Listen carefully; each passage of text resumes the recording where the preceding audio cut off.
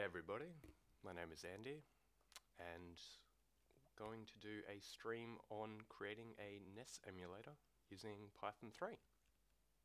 So yeah, welcome to the stream.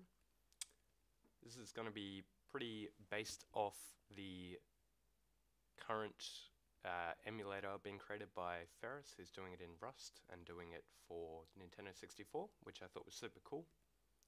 So I thought I'd do the same thing, but do it a bit simpler. So do it for the NES, which is obviously a lot of an, bit of an older system.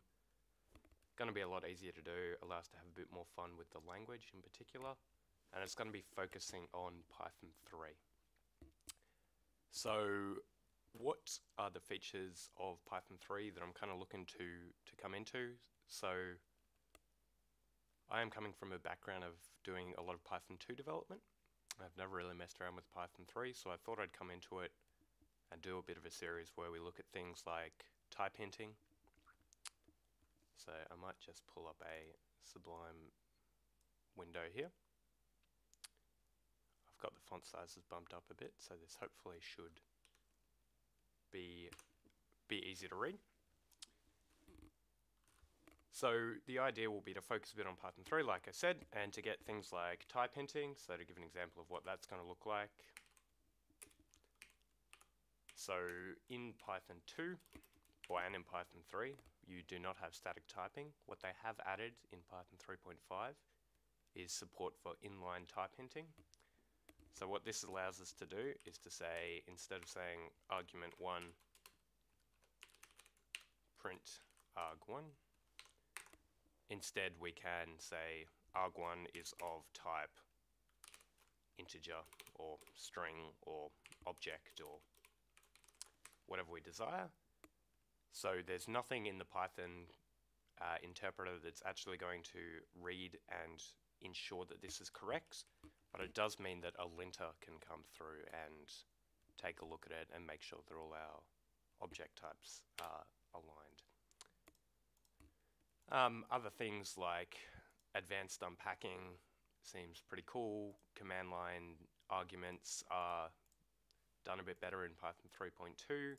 There's keyword only arguments and function calls. Generators and iterators have been redone, so everything is now an iterator if you're coming from a Python 2 background, all the uh, standard library things that is. And generators now have some new syntax, including yield from. There's built-in enums, and things like mixins. Mixins were actually part of Python 2, but whatever. We're looking into many of them. Anyway. Cool. So what are we actually going to be doing in this? So the hope that I have is to write a NES emulator. Uh, so I have looked into this a bit before. Uh, and I have done some just kind of quick looking around at what what was involved in the NES and kind of how to make an emulator. So to give some background, I have never made an emulator before, so this is going to be my first shot at it. We'll see how it goes. But I think the uh, I have done some CPU development before. Uh, in that, sorry, some CPU emulation before. So I've done some MIP assembly programming and created a a CPU to emulate running those instructions. So I have a bit of familiarity with that, but I've never done any NES stuff before or any full emulation. So we'll see how we go and what happens. Basically the idea is I would just want to be doing all the Python coding on stream. Um, I do have a repository set up for this, which is just a empty repository. It doesn't have any code or anything in it at the moment, just some readmes and stuff like that. Uh, and yeah, today just look into what the NES is, find some information about it, and start coding up a CPU emulator potentially.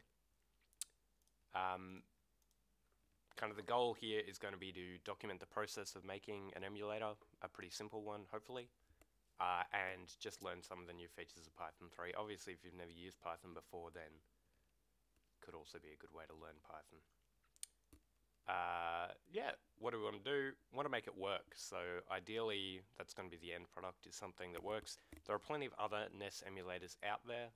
Uh, there are even NES emulators out there written in Python, so there's no uh, great great value to this, I would say, with the exception of learning. So, but look, we'll learn and see what we can see what we can make. Hopefully, have some fun and yeah, see where this takes us. The idea is not to have it be something that is going to be uh, particularly fast. To be honest, I'm not really focusing on performance, just getting it worked, or feature filled, or anything like that.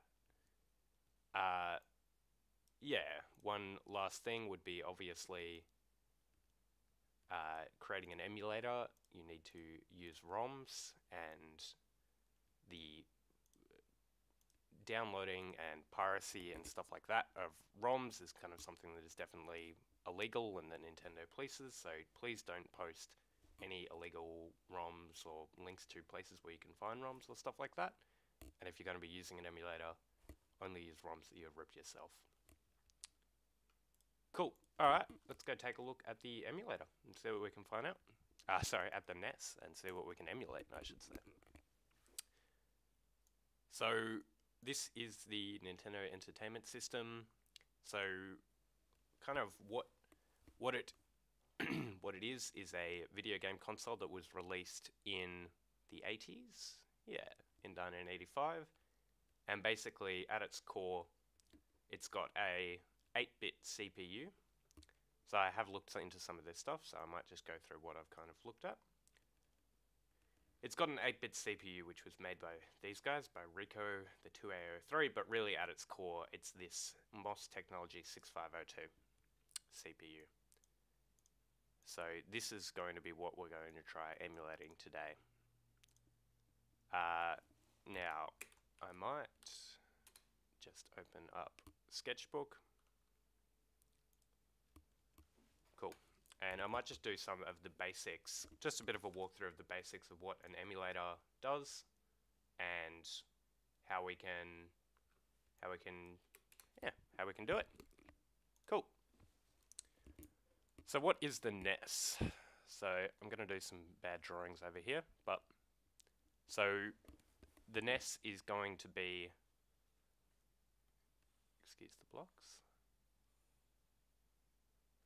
So if this is our NES, it's going to have several components. So the first one is going to be the original one that we're going to do.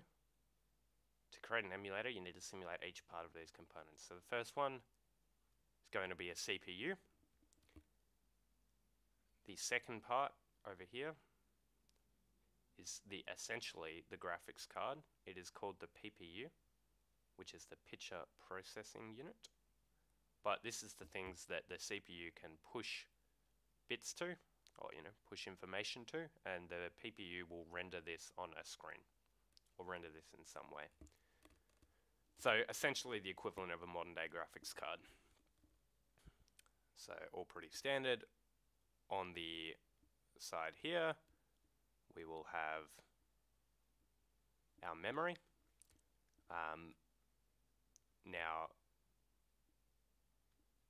this is going to be, well, I should call this our RAM, I suppose, which is just going to be able to store a lot of a lot of bytes. Now, everything that I'm going through here is kind of off the top of my head, so all of this is going to be rather approximate, but the answer is the CPU, which is this thing here, is going to be an 8-bit CPU for a NES. I'll kind of come back to this and explain what this means. But we're going to have an 8-bit CPU, and we have 2 kilobytes of RAM.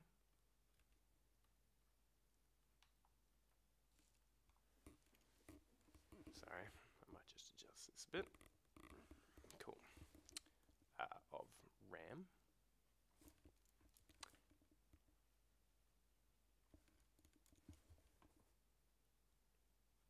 We. Uh, and I don't actually know what the specs of the PPU are. I guess that's going to be something we're going to find out. And the idea is with the NES is that a lot of the data, most of the data actually, that the CPU gets from is going to come in off a cartridge which you put into the console, which is going to be read-only memory, which is why we call it a ROM. And so that's what the ROM part of a NES game is. So that's going to give us all the data about not only the code to play the game, but also any of the data that's on the game. So, you know, what's the configuration of a, in the case of Super Mario Bros., what's the configuration of a Mario sprite, this little person, but also what are the code, what is the code that we need to run so that, you know, it'll have assembly instructions on here. Cool, so that's kind of what the emulator overall is going to look like. So what we are making is the NES. So what we're going to do is we're going to emulate a CPU. So we're going to have something that can read in instructions that are going to be loaded from the ROM. It's going to be able to interpret them. So it's going to read them in in hex, turn them into things that the CPU can understand. It's going to be storing values in RAM and also in registers, which kind of just another bit of storage over here. Um, and it's going to be tell telling the PPU what to do and what to draw. So we're also going to have to simulate the PPU so and hook it up to some kind of graphics framework so we can actually see some output from that. We're going to have to simulate the RAM, so the memory and how that's all stored. Probably going to have to make things like a debugger and other things like that. Anyway, so that's kind of the core of what a CPU, uh, sorry, of what the NES is. And what we're going to be doing at the start, at least for today, is going to be looking at the CPU and how we can simulate, yeah, making one of them. So it's going to, how it can read instructions in and interpret that code and turn it into useful instructions. Alright, question, the cartridge didn't have its own RAM. That is a great question.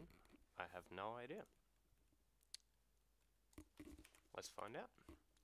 So the reality is a ROM cartridge. The reality is a lot of these questions I'm not going to know the answer to, which is kind of why I'm going to be learning it all on the spot. So let's find out. A ROM. So I'm using Safari here with the text size bumped up a bit, but I might bump it up a bit more and see if that makes it any easier. Design.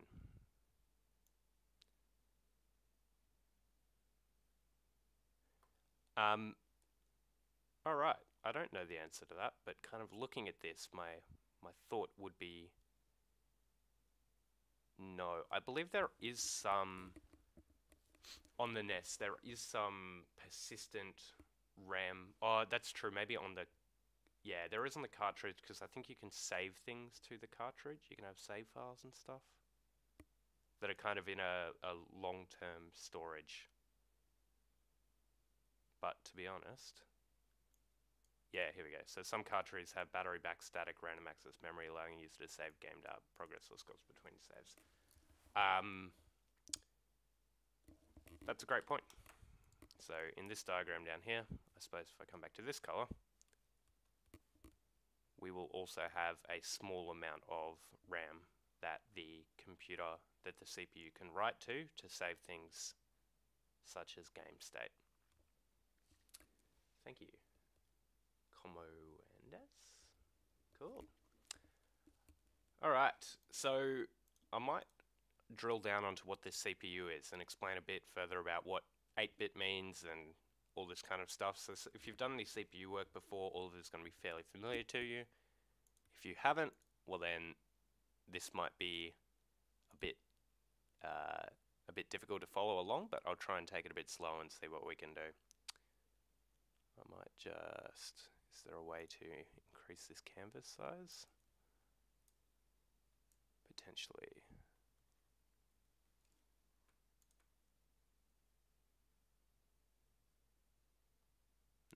Alright. Cool.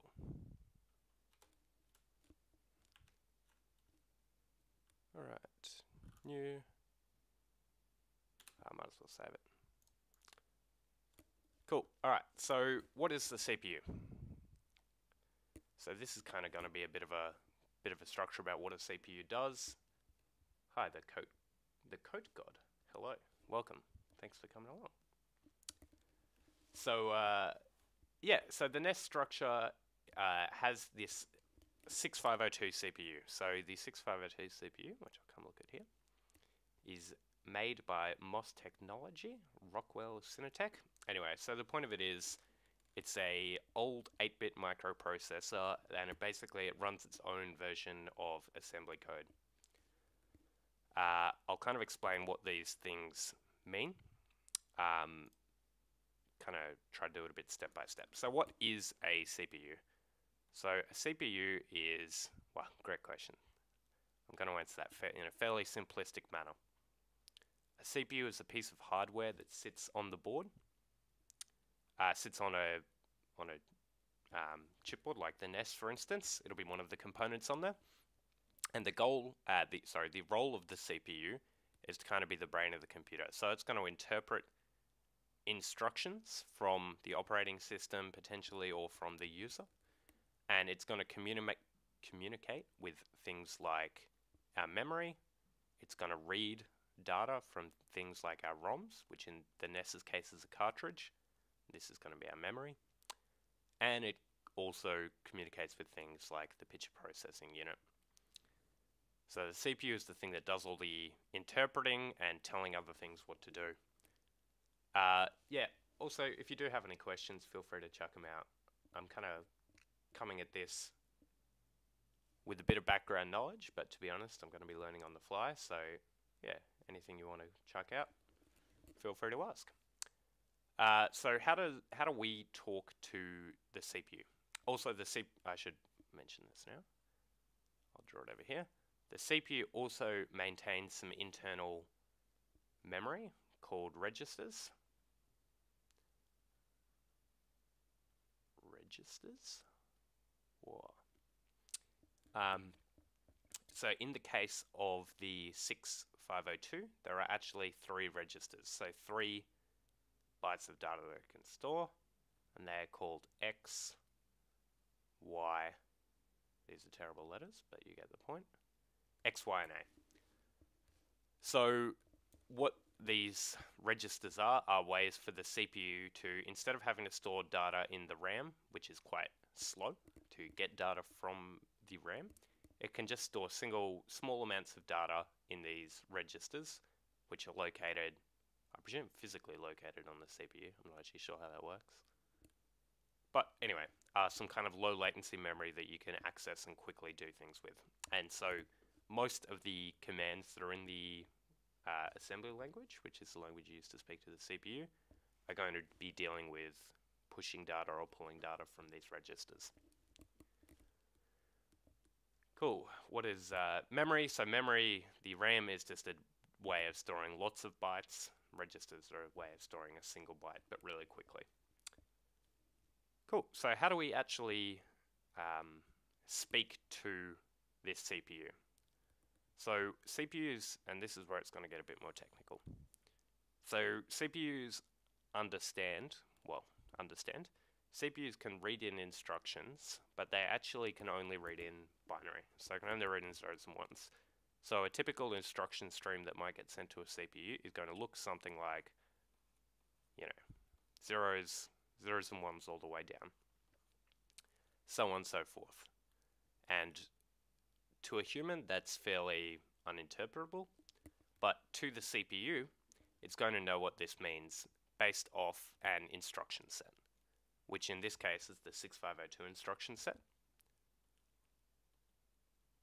which basically just defines what configuration of 1 and 0 can the CPU read in and understand. And the way that a human can understand all of this is something called assembly. So what is assembly?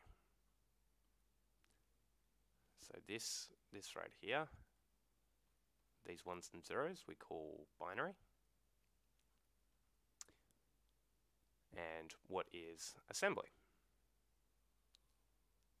So assembly is a fixed set of instructions that allow us, much in the same way that Python is a programming language, assembly defines a programming language that we can use. unlike Python, it is quite low level. So instead of things like calling a print function or you know setting up a function declaration, typically things in assembly are going to be single instructions that have one very specific purpose. So for instance, an example instruction might be, I'm going to write this in pseudocode, but load a value, for instance, x, uh, 7, into the register x, which is this register up here. So we want to be able to tell the CPU, hey, we want to load a value into a register or into memory or send it to the picture processing unit or something. So how do we do that? So assembly defines a spec of instructions that we can use that will allow us to send commands like this. So for instance, this command in 6502 assembly, which is the programming language we're going to be using, is going to look something like load x. So this is just the syntax that it would use. And you can load the number 7. So this is an example of a 6502 instruction that we might use, which is going to load the number 7 into the register X. There's other commands obviously that you can use. There's around 150 commands I believe that we're going to have to implement at some point, which are going to be uh, which is going to be fun, but there are some common characteristics, and this is a pretty simple CPU, so there's actually not that many. Um, so how does the CPU, so this is what the program is going to write then. So this is a kind of a very low level language, but still understandable by humans. We can kind of read that and say we know what it's going to do. So how do we turn that into something that the computer is going to know how to read, which is zeros and ones? So basically there will be a compiler, which is going to turn this command into binary. And it's going to be, do that by using the 6502 specification. So it will look at this, which is in assembly, and will say, how can I turn that into, into binary? And basically it will say, well, I know that the code for load x is 010100. I don't actually know the code, but let's pretend that it's that. And the value of number 7 in binary is uh, 111 and then it'll pad some zeros here so it knows what it's talking about. So basically, if you look at this stream of binary, this is going to be the first thing saying, hey, we're going to load an instruction, and this is going to be the next thing saying, hey, we're going to load the number 7. Cool. Uh, so why do we have to pad stuff with this? So I'm just going to keep going deeper down this rabbit hole until we kind of get to what are we actually trying to implement here. So look, let me know if you don't understand anything or if you have any questions, but uh, this is going to be the basic, basic way I'm going to do it. And then once I've got through this, we'll start looking at the NES more specifically and start looking at actual code and so on and so forth.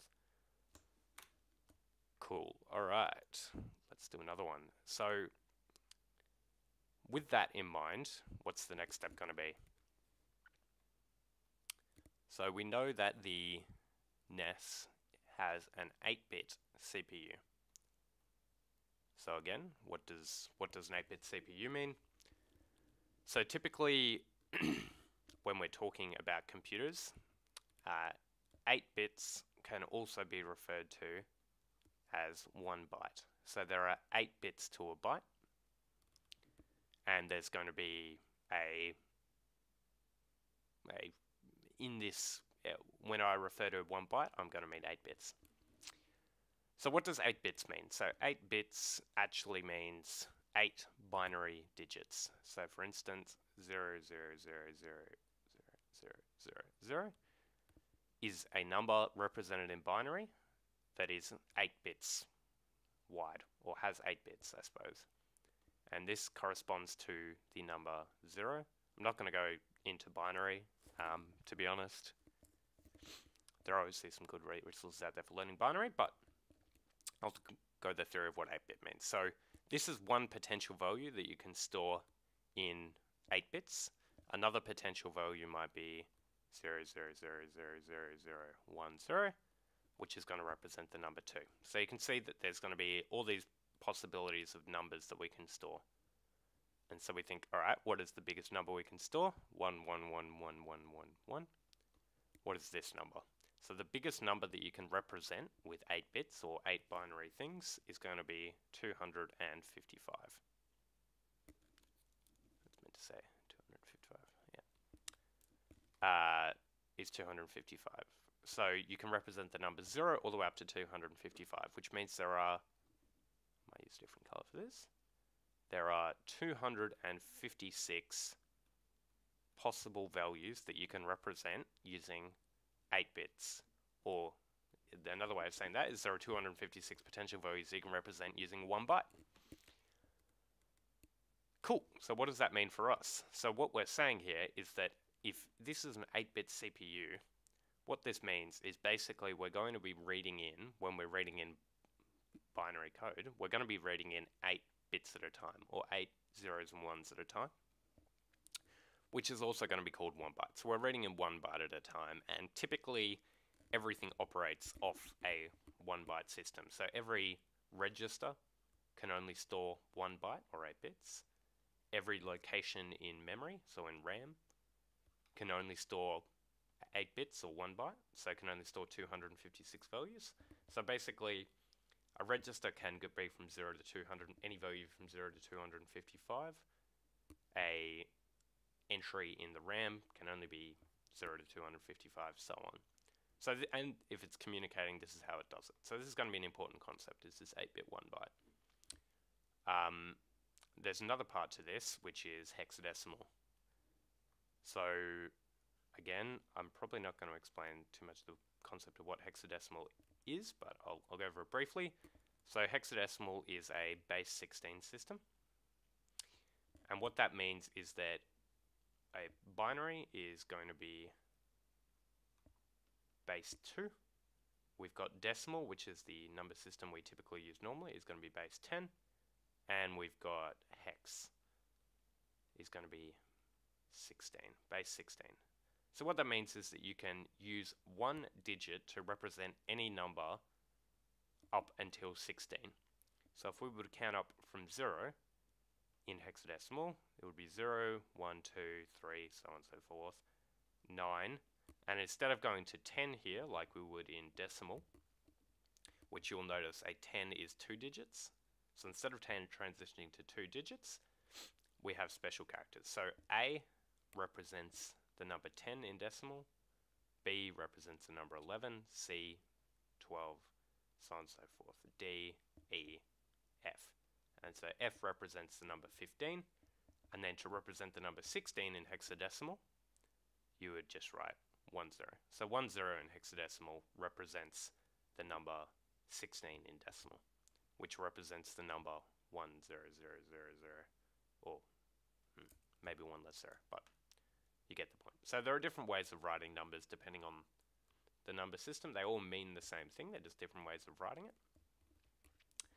Um, now, why is hexadecimal important? Hexadecimal is important because all the ROMs are going to come just as a collection of, of hex.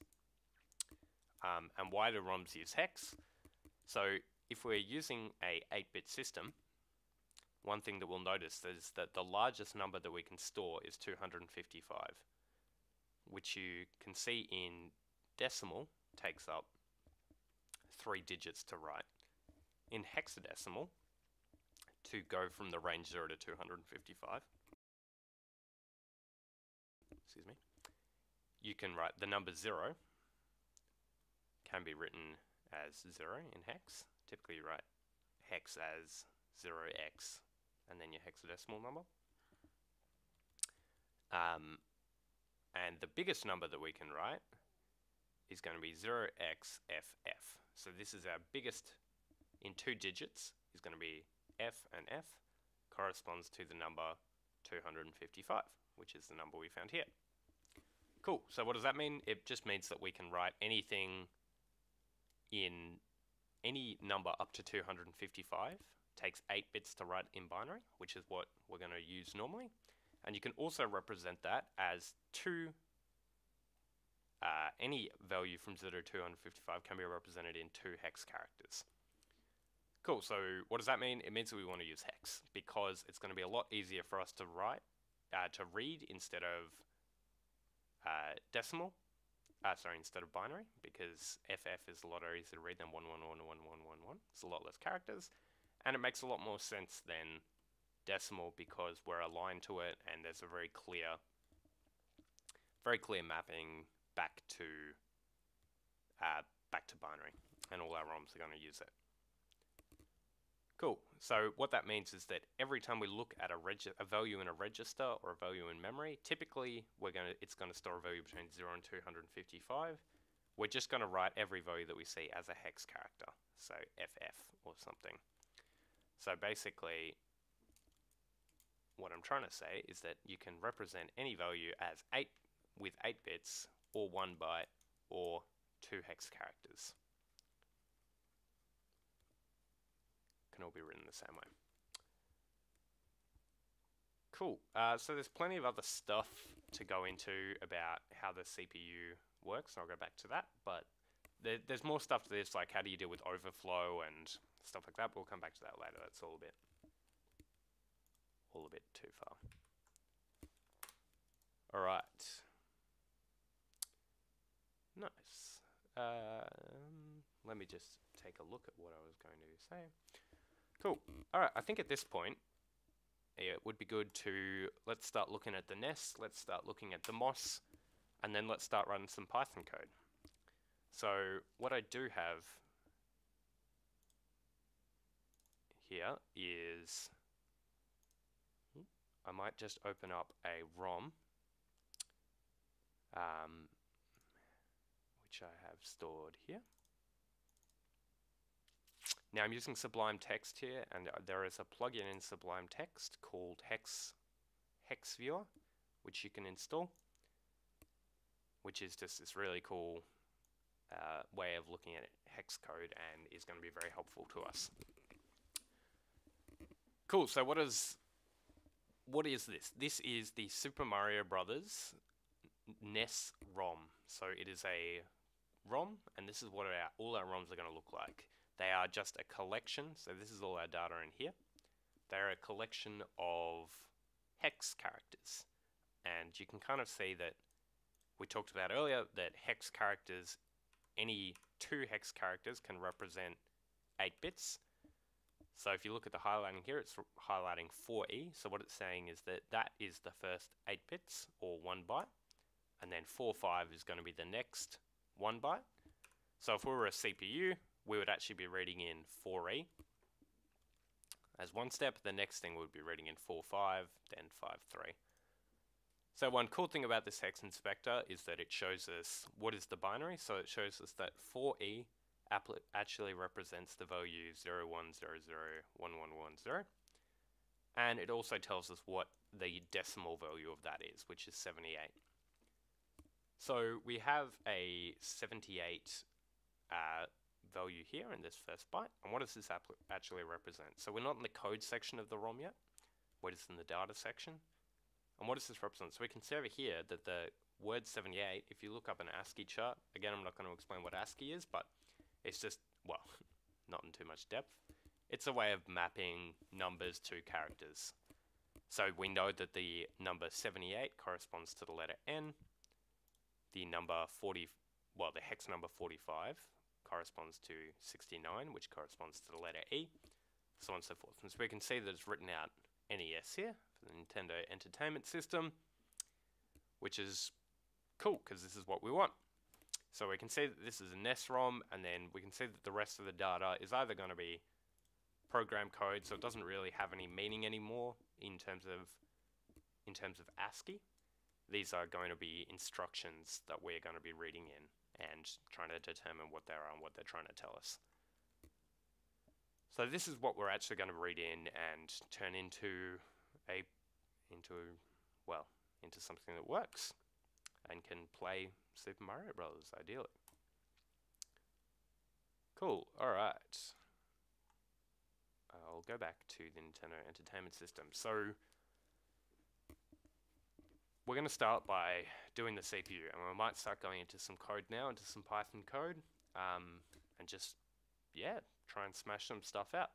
So the idea is that the MOS6502, which is this this thing, uses a an assembly language set for its own thing called the 6502 instruction set or something like that. And basically there's a table here on Wikipedia which lists all the possible instructions that you can write in this assembly language which will then be converted into valid code. Um, I'm not going to go through all these things and there's different ways of things that do different things and they have different ways of addressing which memory to look at or which registers and stuff like that. But for now, screw that. Let's just go do some Python and try and read in the ROM and start printing things out one byte at a time. Cool, so as I said, I've got a repo set up here called the Python NES. There's no code in it. Um, and I do use the PyCharm editor, which I quite like. Um, obviously, it's not required. You can be able to, all this code will be uploaded and you'll be able to look at it in anything. But for now, I'm going to be using that to do everything. So what are we going to do? We'll create a new Python file. We're just going to call it main for now because we're very uncreative. Do I want to add this to Git? Yes. Cool. So for starters, um, we've got to ensure that this is in Python 3, which at the moment I do believe it is. Yes, it is. Um, but I might just set up a virtual environment so that we can run the code in that, and I'll just kind of show you how to do that. I'm not going to go into installing virtual environment and stuff like that. There are plenty of tutorials around, but the process, if you have virtual environment wrapper, is just going to be make virtual env NES. Uh, that's just going to install a Python 3.5.1 virtual environment, which is what we're going to use. Cool. And we now, if I deactivate this, um, I can use the work on command. So work on NES will activate that virtual environment and deactivate will deactivate it. So we now have a virtual environment where we can control the packages that are going to be installed and how things like that work.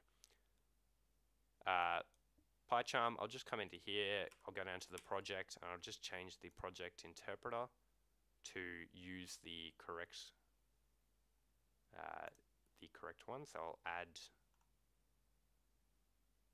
I will add the virtual environment that we just created, which is going to be somewhere up here uh, in users andrew.virtual environments.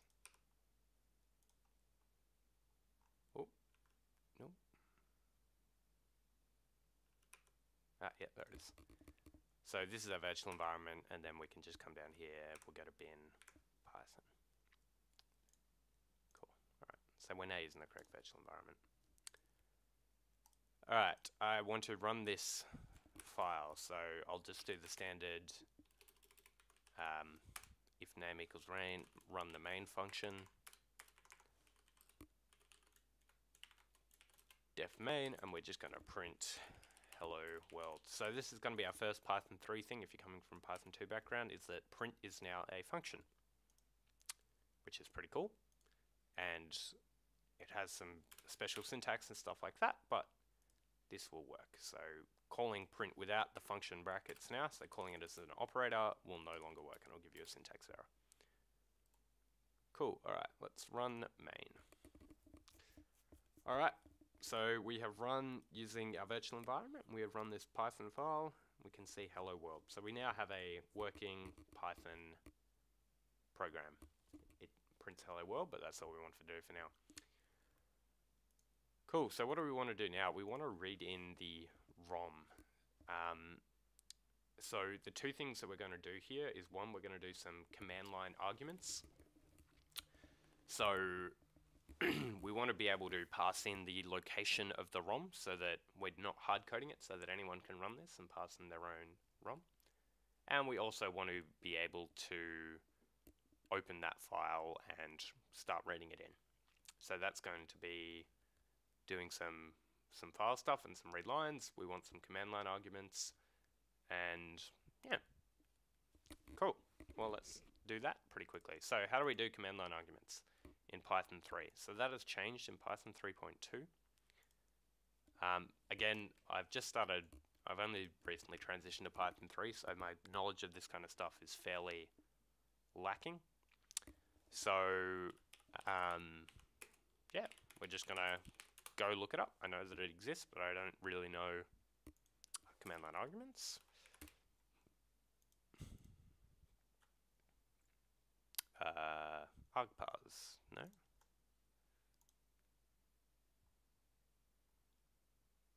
Yeah, the Python 3 includes argparse. So I think this has all been backported to Python 2.7, but running it natively in Python 3 seems cool. Alright, and this will allow us to do on the command line to show help and to do stuff like this. Right, so here's our code. Um, I'm gonna be bad and I'm gonna copy and paste this and then just change it. Ideally we should be understanding things, but for now. So I'm gonna need to import the argparse package. It's an argument package description NES emulator and we're going to add one argument which is just going to be the path path to ROM. Path to NES ROM.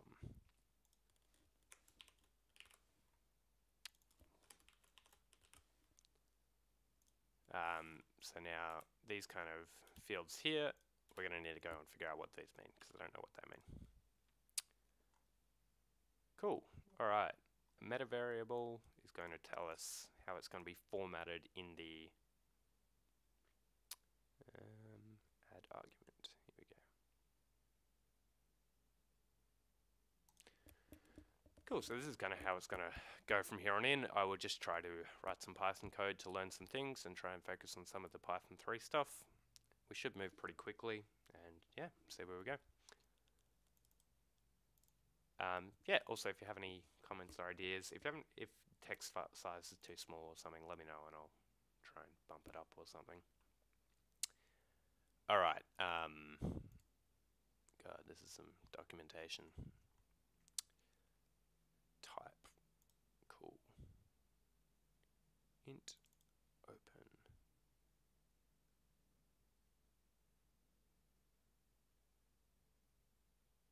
Which can take file type. Cool. So we can actually pass in a file. That seems cool. I'm not going to do that though. I'm just going to do things do things manually. Um, we don't need more arguments. Meta variable, whatever. We'll just call it rom. Uh, and the type is going to be string. Parseargs. Strings, is how this works? Cool. So let's run that, see what we do. The following arguments are required. Ah, that is correct. We have added a ROM path thing. So we need to add this as a command line argument, so we can add this in here. And it's going to be in uh, my ROM. It's going to be in slash user slash Andrew slash ROMs. I'll just have to verify that that is correct. And it's called smb.nes. So all we're doing here is passing in a path that can be used um, on the command line. Cool. Sweet. So you can see that we have an args object here, which has an object which is a string called rompath. Um, I'm not sure what this accumulate function does, to be honest. Having not used this before. Ah, args.accumulate, that was their thing. Okay, so this is kind of useless. So what we want is args.rompath. So instead of printing hello world, we're going to print the ROM path. So we now have the path to our ROM. So what do we want to do now is, so let's just get some documentation going on here and then we can go forward from there.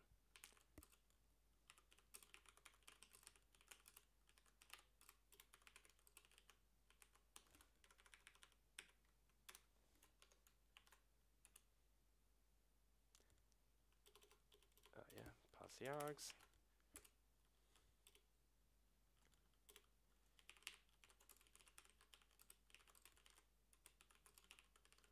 Come back and make sure that this ROM path is correct later. For now, I'm not gonna not gonna bother doing it.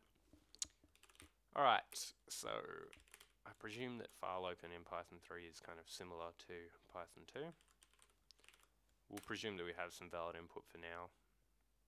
That may or may not be true. So we want to open, so this is kind of non-Python 3 syntax, but for those who haven't seen it before, you can, you could do something like file equals this.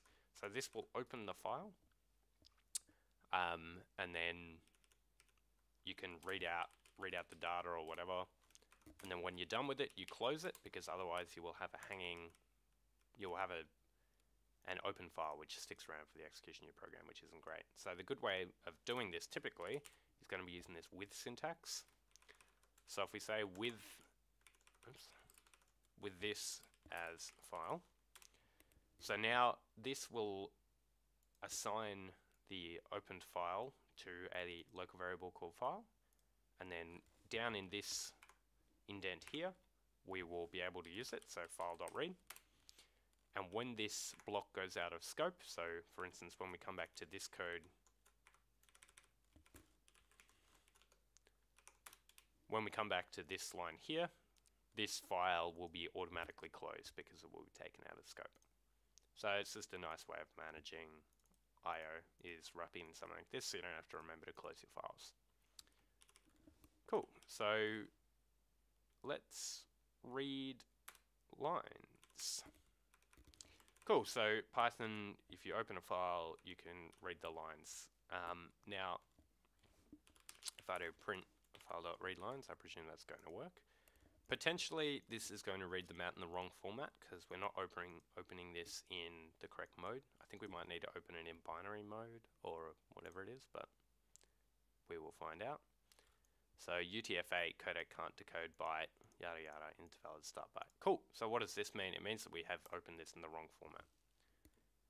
Um, which is kind of what I expected. So Python open file. Let's find the Py Python documentation on this. Python 2.7, so I presumed it has not changed. Oop, no, is not what I'm looking for.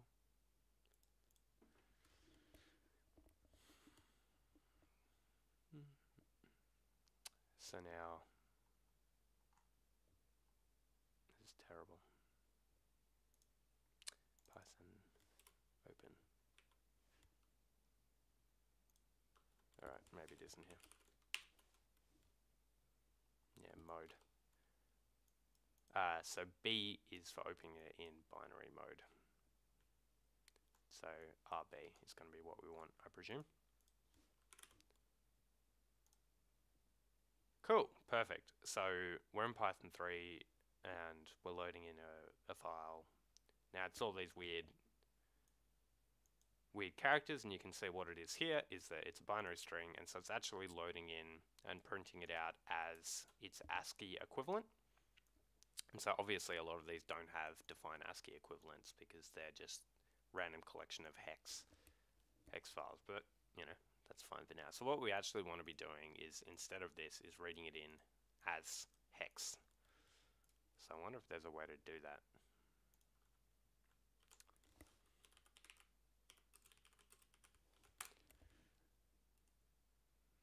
One way to go find out. Read multiple bytes in a hexadecimal file. That sounds like us.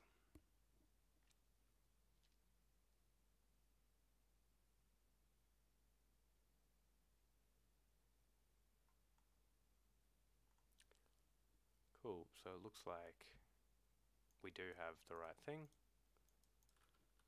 And if we store this in a variable, maybe we can look and we can see. So one disadvantage of this, putting it in this file, uh, sorry, in this with construct is anything that we declare in here, if we try and access it out, oh, you can, maybe. No, I don't. No. Cool. Didn't know that. I thought that would have been. Alright, you can access it. Never mind me. Just the file that goes out of scope. Alright, so um, print lines. So let's set a debug point here. Um, and let's run it. Let's see what lines looks like. Uh, so this might be a bit small, unfortunately. But anyway, we can see that this file is separated into 300, 300 lines.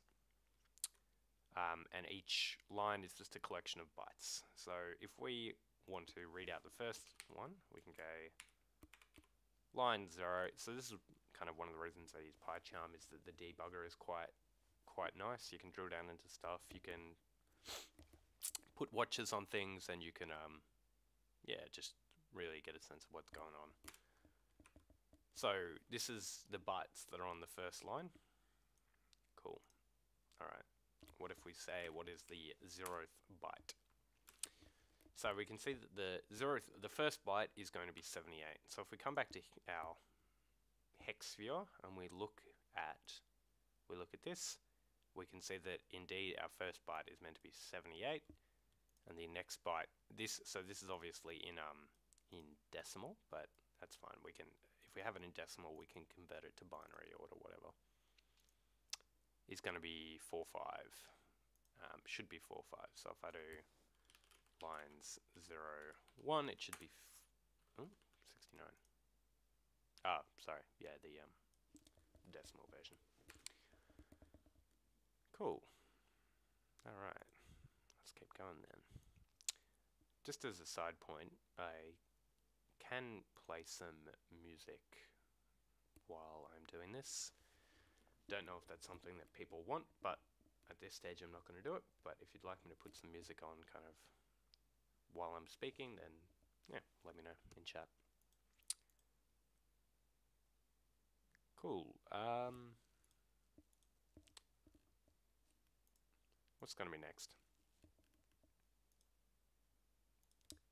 we've got our file ready now. So kind of what we're going to be want to be doing now is to be setting up a very basic CPU structure and probably passing through the first instruction to it. So obviously we're not going to get get many instructions done, but it would be pretty cool today to try and get one instruction implemented and to be able to read that in. As I said, the, what we're, the bytes that we're reading in at the moment are actually just data but at some point this will turn into program code. We can figure out where that is. That's going to depend on, on the NES and where it starts its code and where the data begins. Um, but for now, we're just going to start creating a CPU and pretend that we're going to pass in an instruction to it. So potentially, instead of reading this in through the file, we might just do this through a test harness, just to make it a bit easier for us to you know, check that what we're doing is correct. Cool, alright, let's create a CPU file. So, CPU. So another thing that's in Python 3 is that all objects should inherit from this base object. Um, this is actually in Python 2 as well, but it's optional in Python 2. This is um, you can, oh actually, you can do it in Python 3 as well. There you go. Anyway, the convention I believe in Python 3 is to use this object thing and it gives us access to these new style classes um, which we use in Python 3 which are pretty, pretty nice. Anyway, let's chuck in an init function. For the moment, we're probably just going to define some basic things. So what does the CPU need to do? So CPU is um, a collection of what does it need to store? It has registers that it needs to store. So for the moment, we can just say self.registers. And we'll just store them. we'll just say that's an array for now. Come back and put a proper Im implementation in later.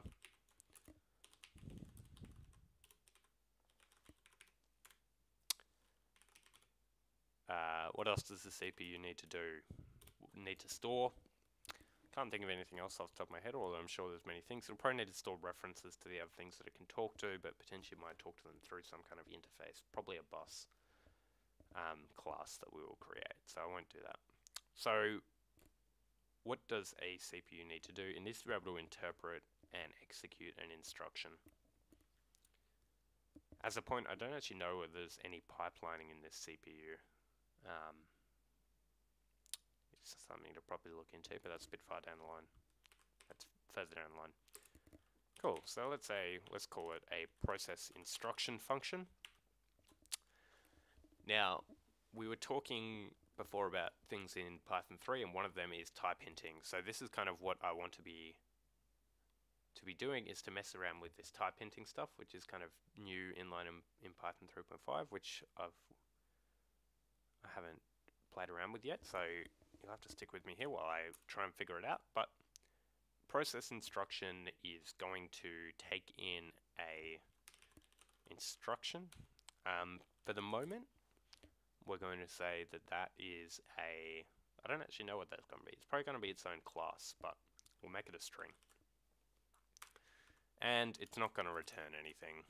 Um, I believe it doesn't need to return anything. We can just leave off the type hinting. Cool, so this is the syntax again for how you can um, pass in type hints. So this is saying we're going to have an instruction variable parameter, which is going to be passed in and it's going to have a type of string. And now if we try to call this without passing in a string to it, it's going to, the linter is going to complain at us. Cool, alright. Um, and we'll just say here to do is process the instruction. Pep8 is always good. Alright. So we are loading the ROM. Let's create our CPU.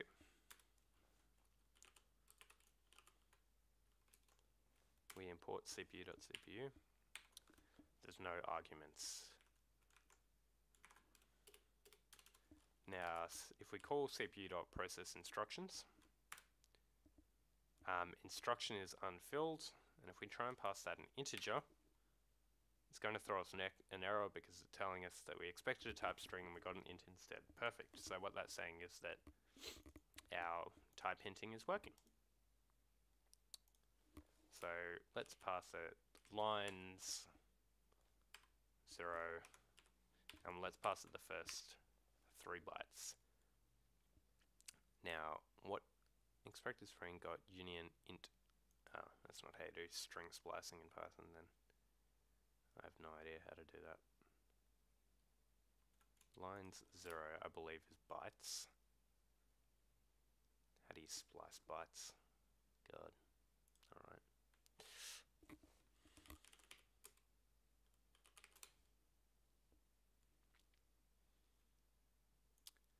Built-in types, bytes.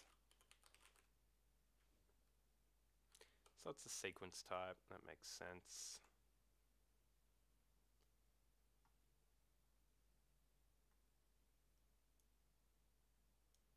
Bytes are sequences of integers between 0 and 255, so this makes sense. We are talking before about a, this being an 8-bit CPU, and therefore it having uh, being one byte, which is between 0 and 255, so we're representing things in bytes. Nice.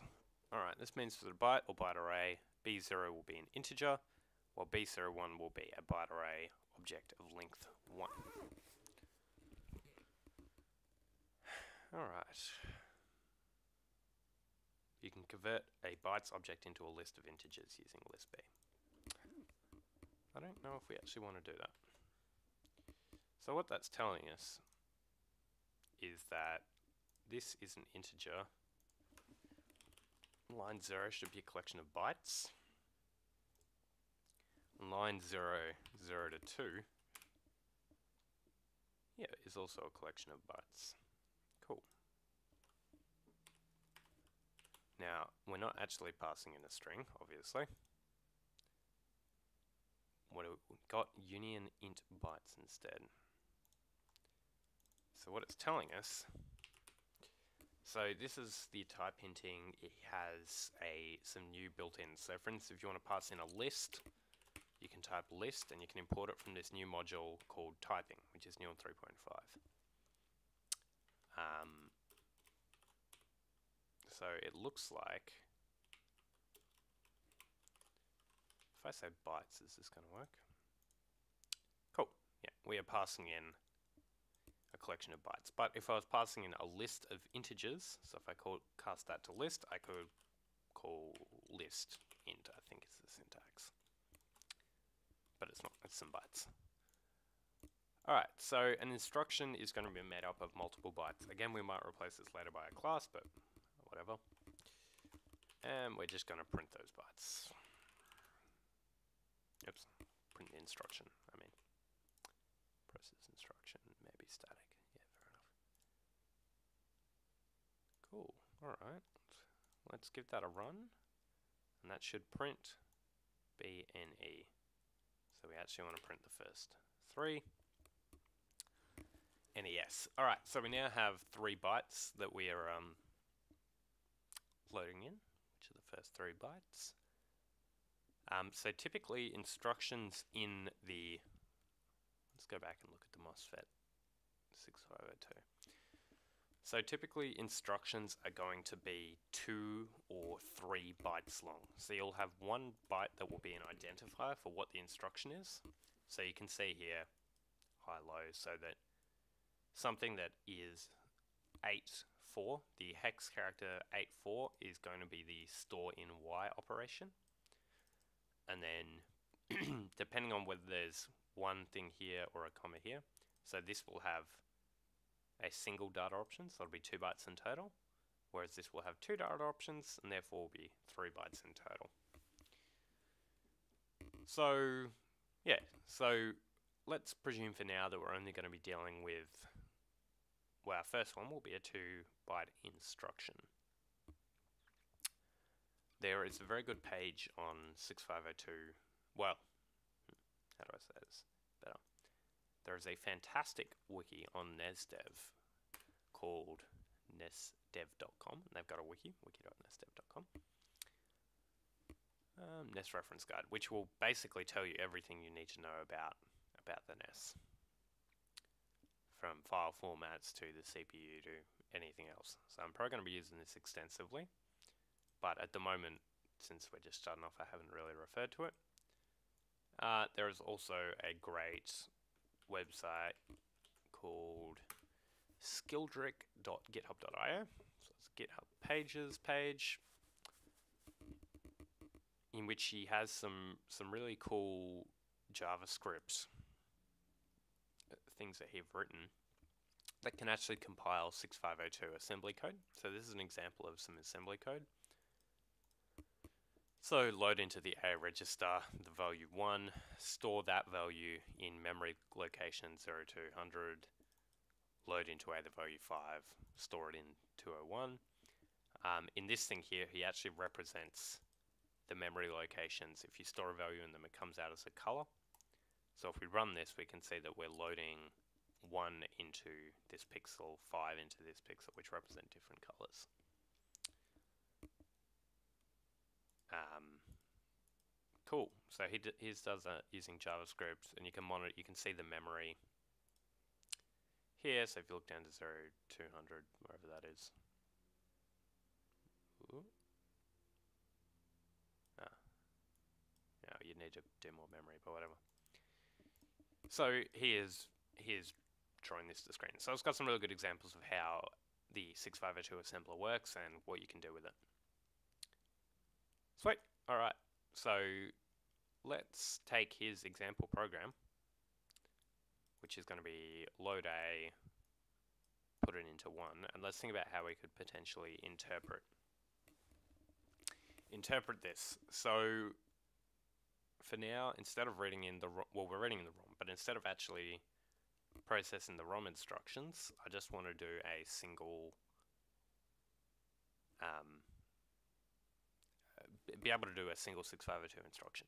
So if we click the hex dump button here, actually even better the disassemble, disassemble button, it'll tell us that the LDA01, this gets turned into hex 0901.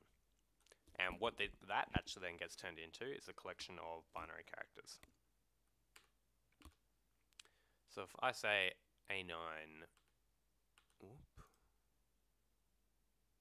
A901,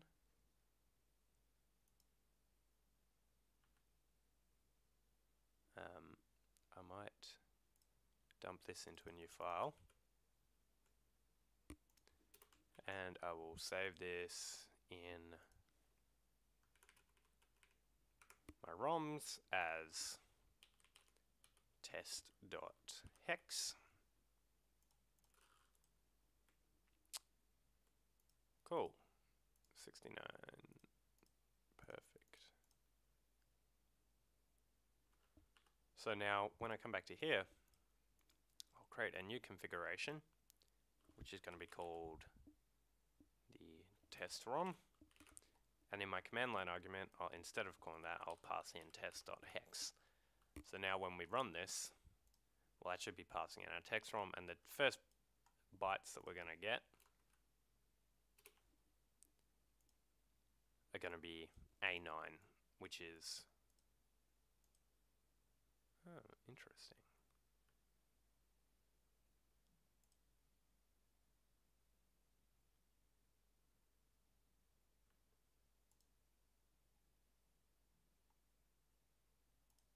Hmm.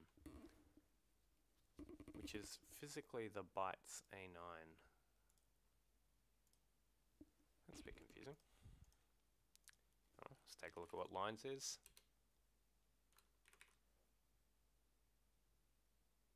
Right, so it's not reading it in. Yeah, it's not actually saved in hex. It's just pretending to be saved in hex. I suppose that then becomes a great question of how do we save something in hex? I don't know. Well, let's do it a cheat way. Let's copy this Super Mario Brothers NES. Let's call it test.nes. Let's open it up here.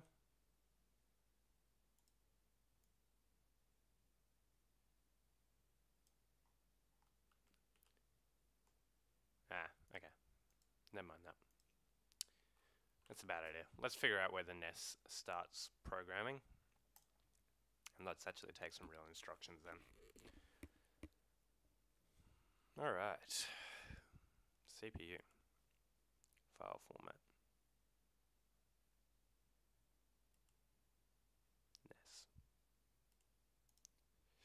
So the CPU, yeah, so the CPU's got to run at a fixed frequency as well. so we're going to have to do that. And it's going to have to be reading in one instruction at a time. And the reality of the CPU is that each cycle has to do a read or a write.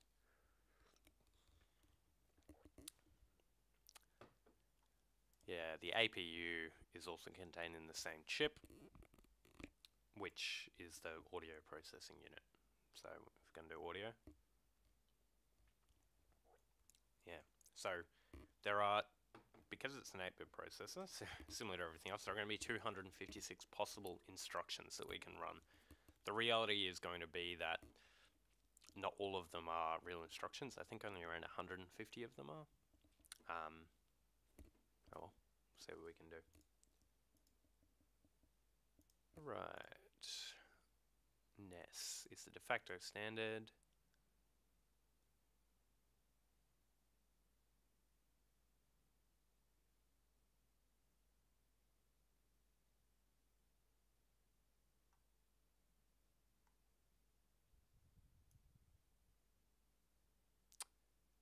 An iNES consists of the following sections. A header, correct. We can see that. That has the So the first 16 characters to round zero. Yeah, so these ones are the header. So what it's telling us is you've got the letters NES and then some, I don't know, probably some check digits or something and then just blank data. A trainer, no idea. PRG ROM data, sounds promising. CHR ROM data, I don't know what these acronyms mean, but I guess we can find out. So as I said, so I've while I've done CPU stuff before and I've done some assembly stuff before, I've worked with MIPS before a bit, but I've never done emulator stuff or NES stuff. So a lot of these things are going to be going to be new to me, as new to they are to you, I presume. All right, the format of the header. Yeah, okay. So NES followed by an end of file, the size of the PRG ROM. Cool. So, NES, and then this is our check digit. So 02 is going to tell us the size of the PRG ROM in 16 kilobyte units. So we have a 32 kilobyte PRG ROM, and then the next value is 01, so we're going to have a 8 kilobyte CHR ROM flags. So what are these flags? Okay. So whether it has RAM or horizontal mirroring or whatever, we probably don't need to worry about that for now. Size of the PRG RAM. Um, byte 8. 0, so we want the number 7. Yeah, so this is the size of the RAM is 0. Value 0 infers 8 kilobyte for compatibility. Okay, so we have 32 PRG ROM, 8 kilobyte PRG RAM, and 8 kilobyte CHR ROM. Bytes, whatever. Don't really care about them.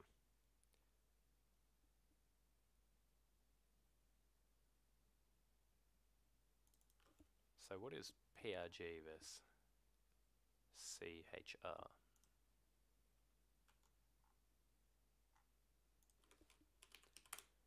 PRG, presumably program, but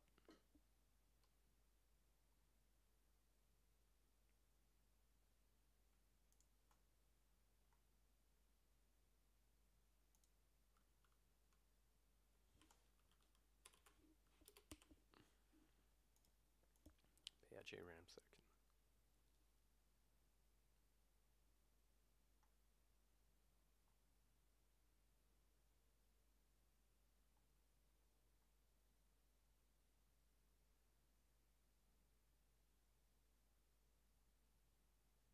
Hmm. This one applies blah blah blah, even for discrete boards. I have no idea.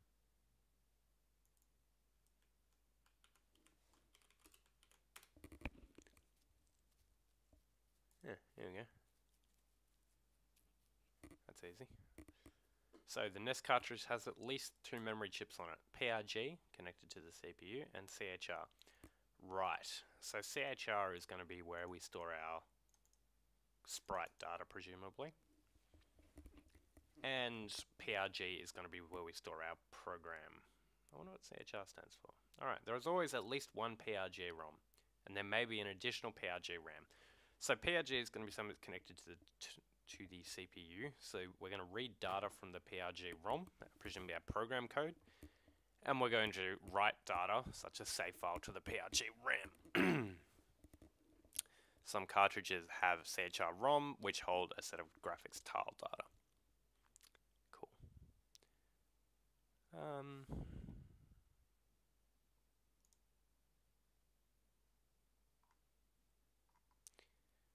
Alright, cool. So presumably our PRG RAM, ROM, sorry, is going to start, we have 32 kilobytes of it, times x bytes, where x is 2 in this case, so we're going to have 32 kilobytes starting trainer if present.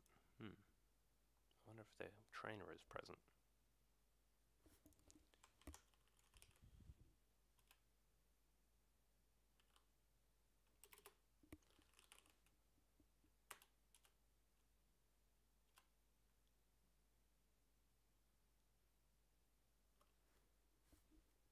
Cool, so a trainer at this stored before the data is if flag 6, flags 6. Right, so we're going to need to convert flag 6 to binary. And see what is flag 0, 1, 2, uh, is this flag 6? There's the header. That's the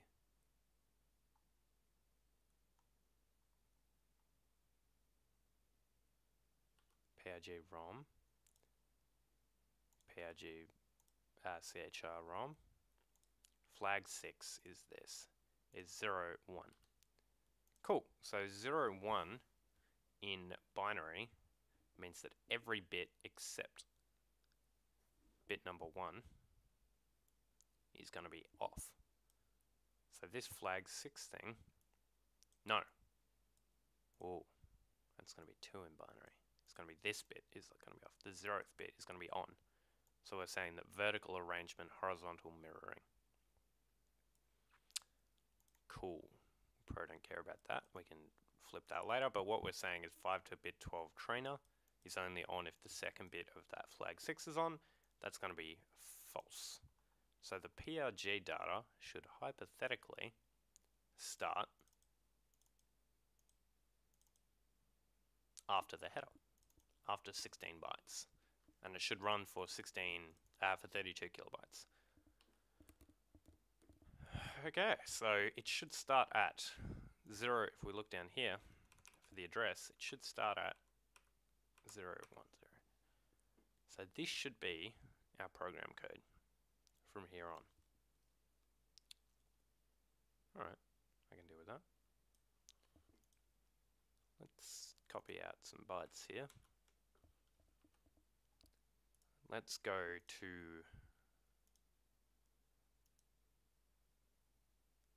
back to our back to our page here and let's try and figure out what these codes actually mean. So what was it? 7 8 D8 A9. So what is a 7 8 instruction? So row 7, so this one. Number 8 SEI. I suppose that's feasible. So these instructions are going to have no data bits. So actually this 7 8 is going to be a single instruction. And then this D8. A9 is going to be another instruction, presumably. So what's D8? Uh, D. Which one's D? D8. Alright, and that one. What's A9? Alright. Does this seem feasible? A9. Load A. Alright, that looks quite promising. So we've got two things that, I don't know what SEI and whatever the other one do, something, and then we're going to load a value into register A. So this looks like it may well be our program code. Um, and then presumably the next couple of bits will tell us, 10 AD will tell us which bits we want to load into A.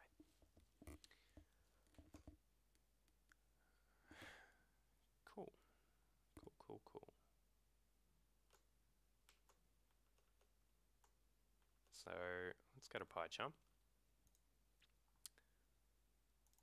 So we are going to say that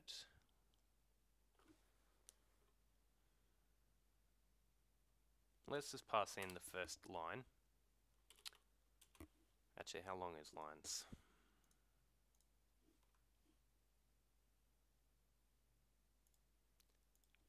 Lines 0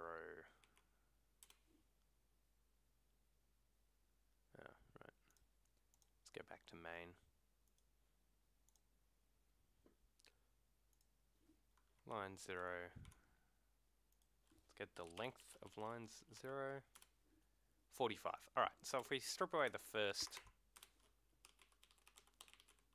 we'll say instructions equals lines 0. We'll just look at the first line for now, and we know that there's a 16-bit header, so we'll just say take it from 16 on.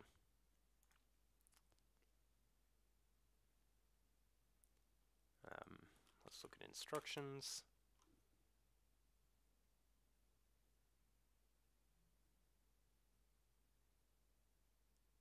Uh, this might be complicated. Three.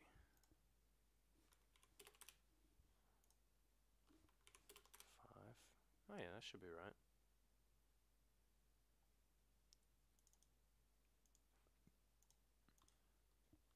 So 15 should be 0, and then 16 should be some.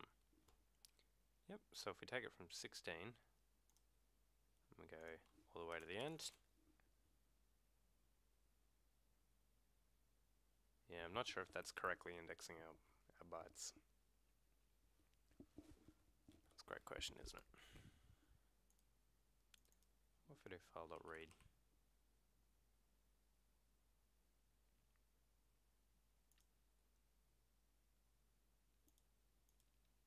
See what lines comes up as. So lines is bytes. Right, so this is going to read the entire thing, isn't it? So I probably want that instead of readlines. Um, but we still want this, but without the, without that.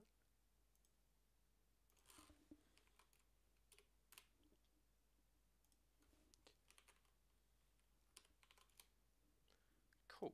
So now the zeroth byte is 120. Okay, so instructions start from 16 and go on until 32 kilobytes. They last for 32 kilobytes, which is from 16 to 16 plus 32. Oh, what a kilobyte calculations. 32168 or roughly, something like that.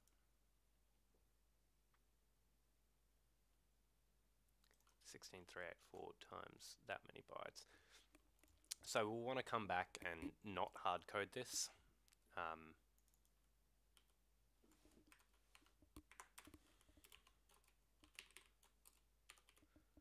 unhard code.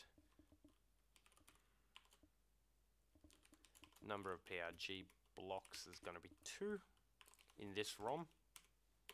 But we'll just make it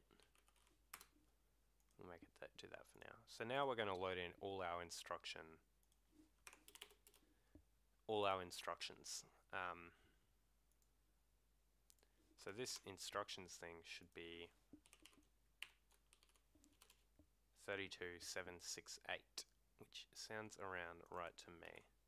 Should be this times 2. Correct. So we have 32 kilobytes. Each one of those entries represents a single byte of data. Um, we can probably put all these constants and pull them into their own configuration thing that can read the header, so header reader or something. Um, there's also going to be a fair amount of stuff that needs to be done with um, sorry, there's going to be a fair amount of stuff that needs to be done with configuration and boot up status and stuff like that to set the initial state of the CPU. Um, again, we can come back and, and do that later. Alright, cool. So we've got our instructions. We can now read them in one at a time. So let's do a for loop. So for instruction in instructions, we're going to pass in that instruction. Instructions. Is that a problem? Is instructions not iterable? Okay. If I turn that into a list of instructions, will that not complain? Yeah.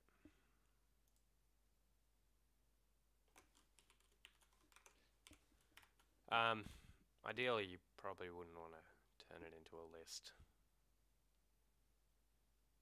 Actually.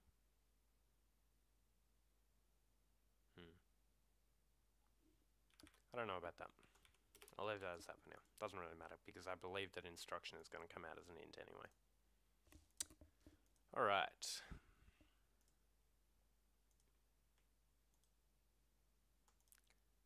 Process instruction. Print instruction. Let's just break after one loop of this and check that we are indeed. Yeah, so we're getting our first byte, which is 120. Now, bytes.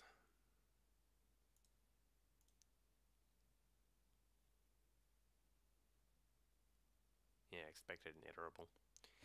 Bytes are weird. I don't know. Cool. We're actually passing in an int, technically, but let's just create a class where we can store instructions. So another thing I'm going to be trying to use here is is mixins. So instructions are going to be a collection of two things. One, they're going to have a purpose, so they're going to load into a register or they're going to do something else. And two, they're going to have an addressing mode. So one of the features of 6502 is that it has a lot of different modes to address things in. So you can say, grab me this, you know, to put in register A, I want to put the number 7 or alternatively, I want to put in whatever's in memory location, this memory location, or alternatively, I want to put in whatever's in uh, memory location that is 200 ahead of me or 200 behind me, or that is a memory location that's stored in another memory location, and you know stuff like that. So there's all these different ways, but you're going to be consistent, I think, between all the instructions. So basically, we're going to have some kind of mix-ins that allow it to be addressable, or in some constructions they're not addressable, but also addressable in different ways and stuff like that. Um, for now, we'll just have a class though. Um, instruction. It should probably be called instruction as well. Cool. And we'll make it a new style object. We'll chuck in an init. So what is what is this going to store? So this is actually going to take in a byte. And I mean, it actually gets passed in as an int. I kind of want to store it as... Hmm. I need to figure out how we can cast things to binary. Um, it's going to be important to figure out. as well as casting them to hex but for the moment, I'll pass it around as an int. So it's actually going to have a code that it starts off with, which is going to be a single byte, which is going to be an int. I'm going to call this an identifier byte. So this is going to be what this table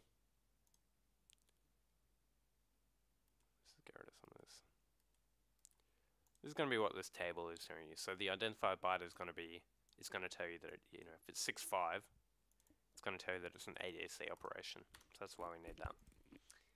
There's actually going to be a dynamic amount of data that it needs to pull in uh, based on the length. It's going to be interesting. So basically, uh, unlike a MIPS or a similar instruction language, there's actually not a fixed instruction length. So for instance, in MIPS, all instructions, or you know, in the one that I was in, all instructions are going to be 32 bits long. So a program might look like this, right? Um, whatever.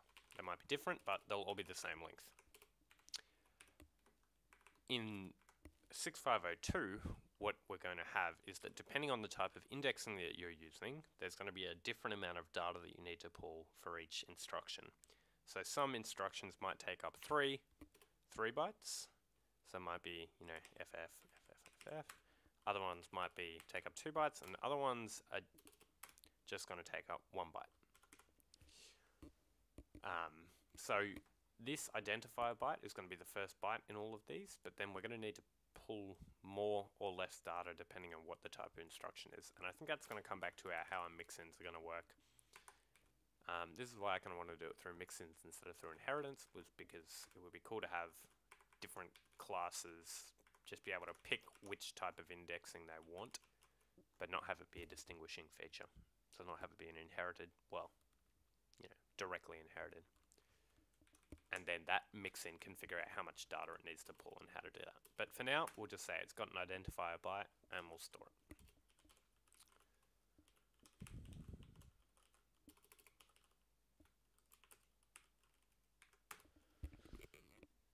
Sweet. All right. So we've now got.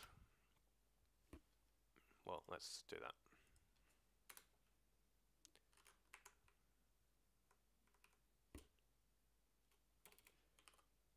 So we're really taking a byte, and then we're going to say instruction equals. Import that. Um, we're showing us itself that it's an int, which it is, which is good. Look, I'm going to turn this into a list for now so it stops complaining. I'll try and figure out later how to do that properly.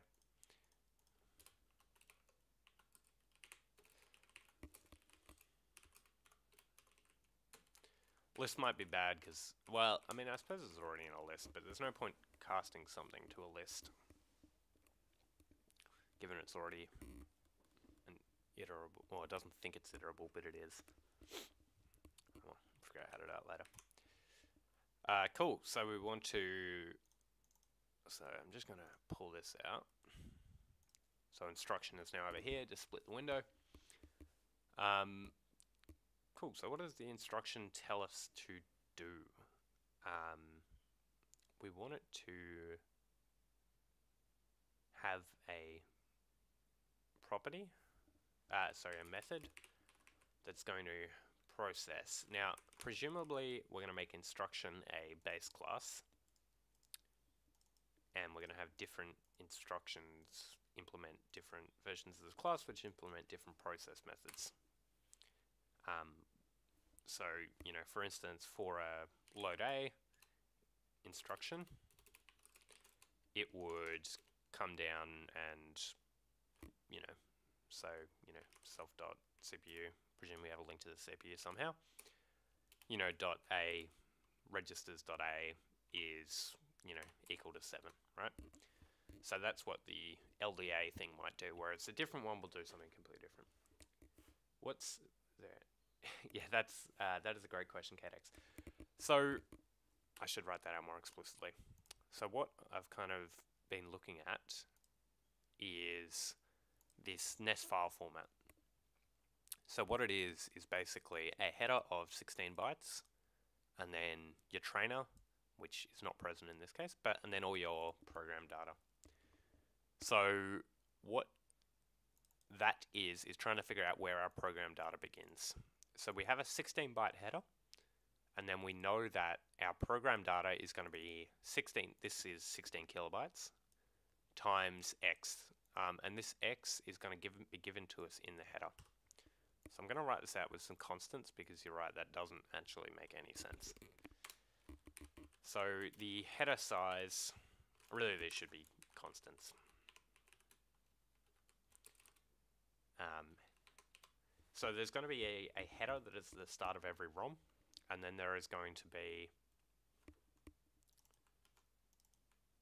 So basically we want to start, look at all the lines in the ROM, oh, all the bytes in the ROM, sorry.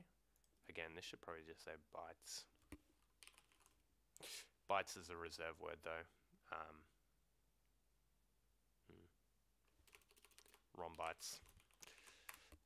Cool. So we want to take a look at the ROM bytes and then we want to start at the header and we want to go from the header until we hit 16 kilobytes times the number of programming bobs. So uh, KB16.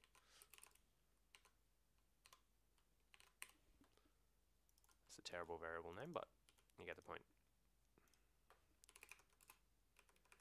So basically, no, that's not Pepe. Hey. I might put some some brackets in here as well to make this more clear. So what we're doing is we start at the header size, which if we look at the ROM, is going to be these bits. So these are not part of our code, and everything from here on is the next 32 kilobytes. So we're going to start at 16, and then we're going to go from 16 to 16 kilobytes times how many programming blocks there are. And the number of programming blocks is actually what whatever this value is set to. So there's two 16 kilobyte blocks, and that's defined in the header specification. Hopefully that clears it up a bit. Presumably I'll come back and change this. KB. that's that's a great point. I will do that. Um, uh, 16 times KB. So, um, program data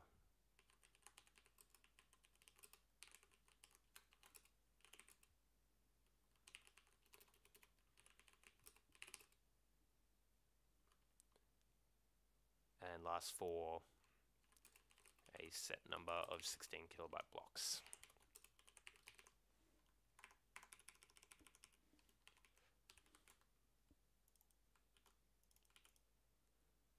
Cool, variable in function.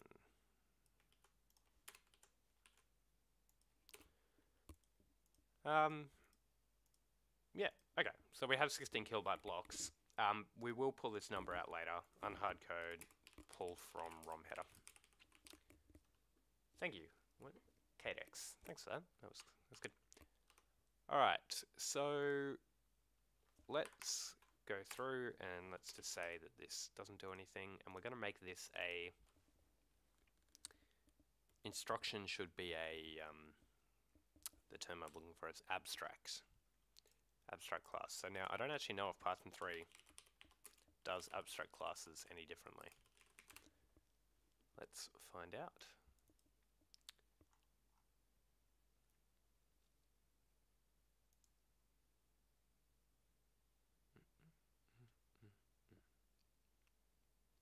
Command line. Mm -hmm. Yep. Okay. Uh, ABC doesn't look like it has changed.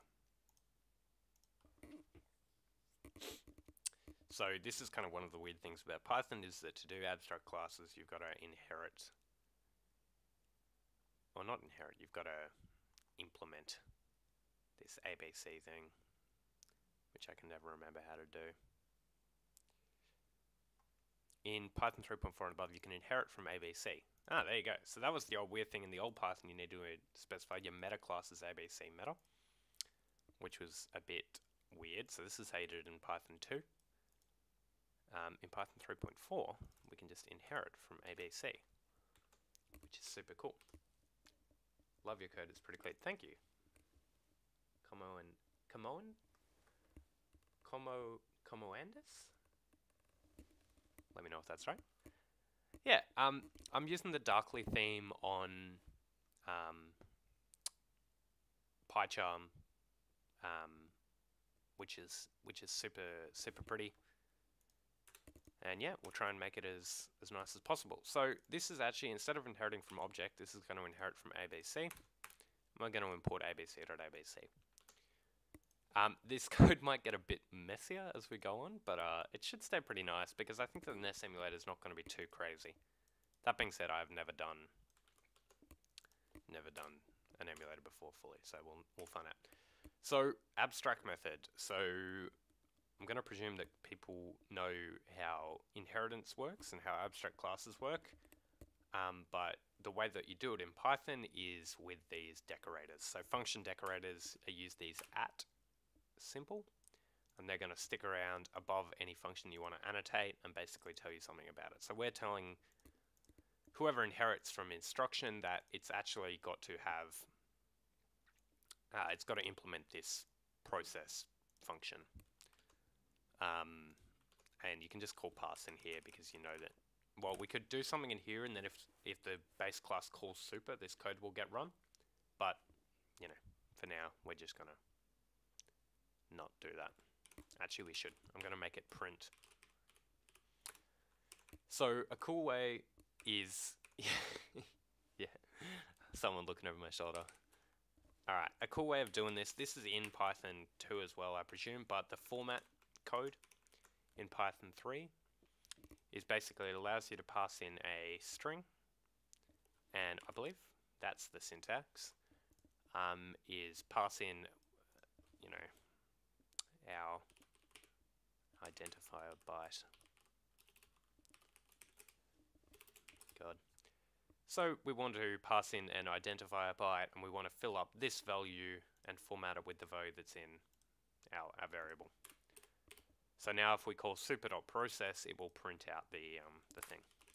Now I'll separate this later, but let's begin with a load A, because that was the command that we saw.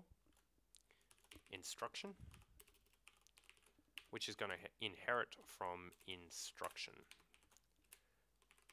Now, init I might need to override and do different things with, depending on the instruction, but for now, I'm just going to override process. Um, so another cool thing Python 3 is that super now doesn't need to be passed in the in Python 2 you was uh, forget the exact syntax but something like you had to pass in the class name and then call. Anyway super just works now so you can call super dot process. Um, and that will call the the parents function which is a lot cleaner. So we're not going to do anything else for now on that. Um, and we'll say we'll pretend for now that this is going to be an LDA everything is going to be an LDA instruction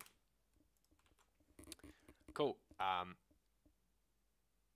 this is this is cool. So now when we process an instruction, we're actually going to receive an instruction here. Now we're going to have to import that.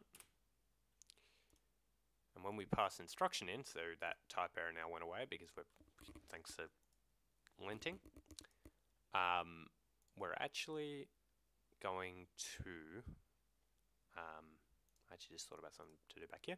But we're actually going to, instead of saying print instruction, we're going to call instruction dot process. Cool. Um, now, the CPU can also do other stuff here. Potentially, this is where we're going to figure out which data needs to be passed into the function. And then we can, you know, work from there. All right. Um, let's see if that works. It can be static. Yeah, fair enough. We'll make it non-static later. Um, another cool thing about PyCharm is you can really easily reformat and make things sure things are pep8, but you can also optimize your import. So anything you're not using anymore just gets chucked out, which is super handy when you're, you know, forget that you're leaving using different classes and just make your code code cleaner, which is what we want, right? Cool. So this is not actually how we're going to iterate through this list, but let's just check that this works for now. Cool. So we are taking the first instruction, we are passing it to the CPU, we are pretending it's an LDA instruction. Um, and we're, yeah, calling the process method, which calls super.process, which is saying the identifier byte is 120. Sweet. All right. So what do we actually want to do now? if we think about this, the um, the CPU is probably the one that should be running this code. And instead of iterating through the bytes, really it wants to be reading one instruction at a time. So the way it's probably going to be doing that is by simulating what's called the program counter. So if I go back to go back to here. So if we imagine that every line of code oops, LDA um, you know, store the number 7, let's store the number 8 for some reason, if you want to override it. Store the number 9. Now, if these are all stored, this is stored at memory location 0, this is stored at 1, this is stored at 2. Basically, what we'll have is we'll have a value over here that's called the program counter, which is stored by the CPU, and this is going to be set start at 0. So what this PC tells us, program counter, is that hey, CPU, to find the next instruction you want to execute, execute, go to line 0, and then once this instruction runs, Actually, since this is going to be two bits of data wide, this will be at 2, and this will be at 4. If that makes sense. So this is position 0, this is position 1. So it will say go to position 0 and execute whatever's there. So it'll find an LDA And so it'll execute that. And the LDA will come back and tell the CPU, look, I have moved execution forward by two bytes. So the PC counter gets updated and then gets set to two. And so this is the way that we're going to keep track of what's going on. And so the next time it gets to an instruction, it'll come down and execute here. So the instructions should tell us how far to move the PC counter. Um, and then that way we can know how much data was taken, you know, how much data this instruction needed and where it needs to continue execution and yada yada. All right, cool. Um, another thing here, I'm probably going to be using a lot of classes. Um, it's probably you know, that you could definitely do it in a more functional way. But I actually really like classes, especially in Python. With stuff like mixins, uh, it seems like it's going to be quite well suited to what we're doing here. All right. Um, cool. So let's get rid of this. Create the CPU. This stuff can all go up here, actually. So we get the instructions. Now, we're going to tell the CPU to process instructions. I'm going to tell it to load. So, so the CPU is going to have to maintain some memory. If every instruction is a variable length, how does the PC know how to index the PRG properly? Great question. So the instructions are of variable length, but they are of defined length. So, so an LDA instruction is of a different length to a you know BRK instruction or whatever. But intrinsically, so if I look at um, uh, yeah, if I look at this, you can see that a, a BRK instruction is only going to be one byte long, whereas a LDA instruction is going to be two bytes long. So this LDA is actually separate to this LDA, which is three bytes long. So basically, just by knowing, by reading the instruction bit, which says A9, we're going to know not only what type of instruction it is, but how many bytes the program counter needs to be moved forward to get to the next instruction. So they are a variable length, but we know what those variable lengths are depending on the instructions. So it's just something that we're going to need to implement and then keep track of through the PC counter, uh, which is a register I think, in terms of implementation. Uh, let me know if that needs more explanation. Um, it, it should become more, more clear in, in time as well. So I think we're going to load all these instructions. So basically, I think what happens is that they will actually get copied from the ROM into the memory of the computer. Um, but I'm not 100% sure about that. It may well just read off the ROM. So, I don't know. Let's um, just pass in instructions. So let's say process instructions, and we'll pass in some instructions.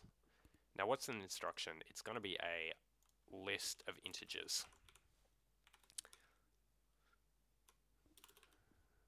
List of integers. Cool. We can get rid of all this stuff now. Um, Cool. So let's go to our CPU and let's go to def process instruction.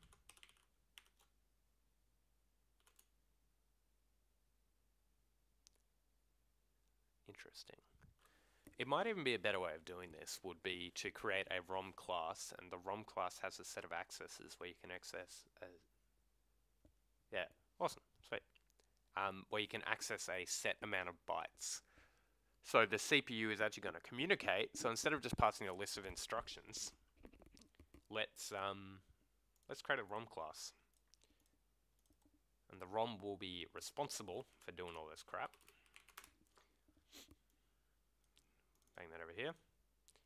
And then we can get more of this stuff out of our main code. Basically, I just want the main to be set up, parsing the args, um, loading, and then all this ROM stuff can actually be pushed to to here.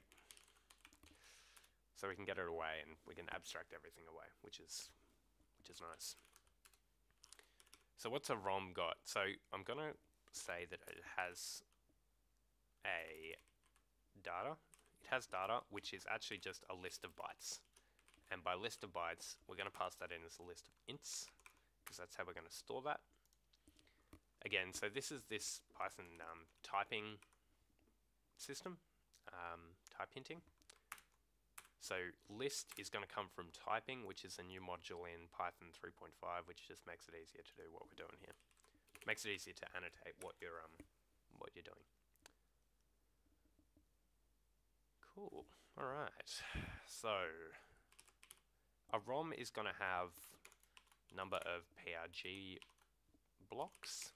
So this is again going to be set from the config. So we can do that all in here, but for now we'll just do it for, set it to two. Um, and then we'll set this. This, this can all move. This is going to be really nice when it all works out. Um, and we're pulling this out of data, which is actually, oh yeah, we'll call ROM bytes. Um, header, header size, number, self dot number, programming blocks. Cool. Um, that looks that looks better. And self dot instructions. and they're not really instructions, it's really a collection of bytes. So I'm going to say self.bytes. So bytes is a reserved word, um, but self.bytes is not. That being said, it's probably bad practice, so I'm going to not call it that. I'm just going to call it self.data for now. Or data bytes or something, who knows. Alright, so let's just give that a bit of a format. Um, code. Just make sure that's pep80. Cool, so we now no longer do that. We no longer need these. We set up our command line arguments, we load the ROM. This all gets done by loading, so ROM equals ROM. Hmm, ROM bytes. Another thing that Python 3 is going to do for us is that it gives us some um, keyword only arguments, which are pretty cool. So I might start using them as well. So previously, if you had function parameter A, parameter B, and then like, you know, reverse equals false. So this would be a flag where you could pass in should, you know, the data that comes out of this be reversed. And so obviously the, the danger is if you call this function A, B, and then you accidentally pass in like a third parameter or something, this 3 can be set reverse, and then if you're calling if reverse, you know, do something, then this 3 will be taken as true, and that's going to be bad. So what you can do in Python 3 is you can do this, and it basically means that if you pass in this 3 here, it's not going to assign it to this name parameter. It's going to give you a give you an error, and the only way to access that reverse function is to explicitly say reverse equals true. Anyway, we'll come back to that um, at a later point when we're writing things that need it. Uh, list of, cool. So a CPU is now going to have reference. So I'm not going to make the CPU have reference to a ROM. I'm not going to pass it in the constructor. I'm going to make it load a ROM um, because potentially we might need it to copy it into memory later. I'm not actually sure how it works. So we want to be able to change the implementation of how this works. And we'll pass in a ROM. So def load, God. Memory-wise, do you really want to instantiate a new object for every instruction? A giant switch case might be a lot more performant. Um, so Good question. Yes. The the answer is almost certainly this is going to be terrible performance wise. Um, my thought is I I'm kind of starting this off with the I want to make this as nice as possible in terms of the code, uh, what the code looks like, and not worry about performance at all. I'm kind of hoping that because it's a NES, probably it's not going to be too too intense, and we probably should be able to run it even if we're doing stupid stuff like this. Uh, if it turns out that it is super slow, then I'll probably change it. But I'm definitely going to prioritize, for now at least, things that are look nicer and make more sense to me rather than things that are going to be performant. But I completely agree because a switch elf, switch elves will definitely be way better, and having things be functions instead of classes and all this kind of stuff is is definitely going to be a lot a lot quicker. But yeah, for now at least, uh, I would really my my kind of the reason that I want to do classes for instructions is because I want to be able to do mix-ins for the different addressing modes. Now, again, I'm not super certain on how all these things work. Like I said, I've just started looking into it, but it would be pretty cool if we could get a lot of this functionality for free and have this line. My thought is, if this works properly, it might be 50 lines of code as opposed to, you know, a couple of hundred. Anyway, we will see. I think the um, the answer to that question is um, I will definitely fix it later if if it needs to be fixed. Screw that. Let's go with cool code over fast code. That's the that's the way. All right. Instructions. What am I doing? Loading a ROM. So loading a ROM is going to take in a ROM, which is going to be of type ROM. Just so we get our function annotations going. Um, for now, we're going, instead of loading it into memory, we'll just store a reference to it um, this is a, a, a, bad way of doing it because then we'll have to check if the ROM is none and, and stuff like that. But uh, yeah, um, I'm kind of assuming that there's going to be a lot of changes here later, so I'm not going to worry too much about it. Process instruction. Um, cool. So now load ROM.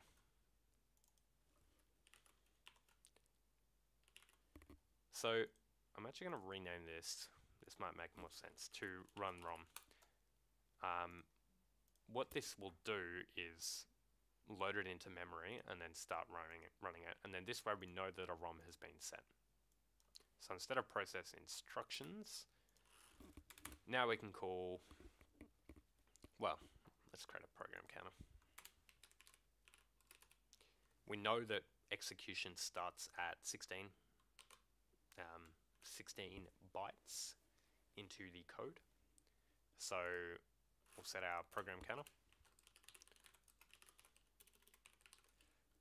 Uh,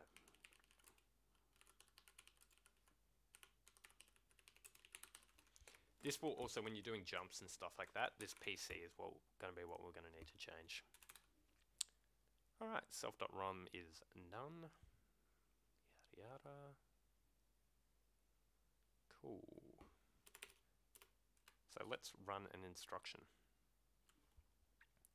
So the ROM at the moment just stores the data, but really what I want it to be able to do is return, I don't, uh, so potentially this might get loaded into memory later, but at the moment I'm going to be querying the ROM and trying to figure out what the ROM wants to do. Okay, so self dot pull data or something get bytes.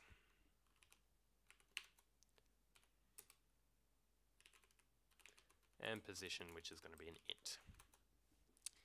So we're going to get the data, the bit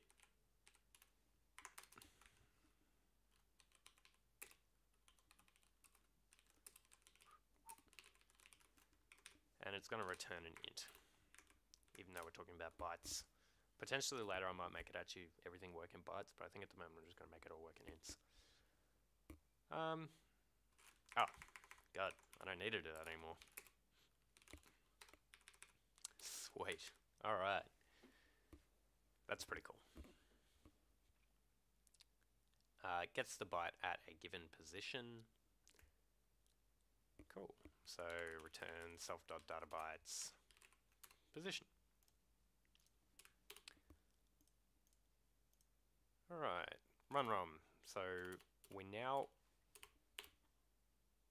want to run through so let's say here we're going to load the ROM, potentially we might need to copy it to memory or something. run the program. Alright, so running the program is going to start iterating through this um, this code by starting with this program counter. So while true, uh, this will probably be need to be like while the flag is not set or something. I'll say it's running for now. There's, yeah, it's probably going to be a flag, so.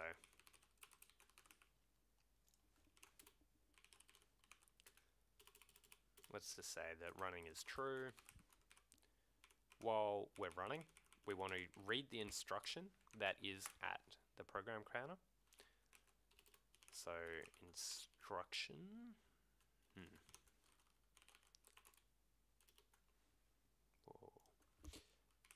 self.rom dot get byte at 16, no, at our program counter. So,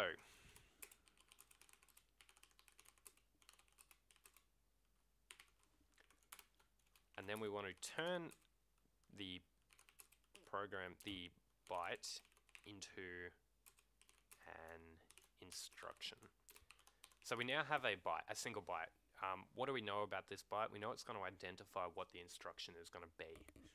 So we need some way of turning that instruction into the correct the correct class. So what Cadex was saying was potentially just having a giant switch switch case, um, which is probably the best way to do it.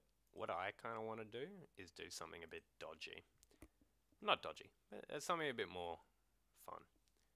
So we're going to create something that is going to map instructions into, uh, sorry, bytes, so identifier bytes, into instructions. So for instance, we know and I'm going to create it here for now, but probably it's going to go somewhere else. So self dot instruction mapping. Um, I'm going to make this a dictionary. Um, what we know is there's a set of instructions. So where was load A? Here we go. So A9 is going to be a load A, and we're going to load in a, a number.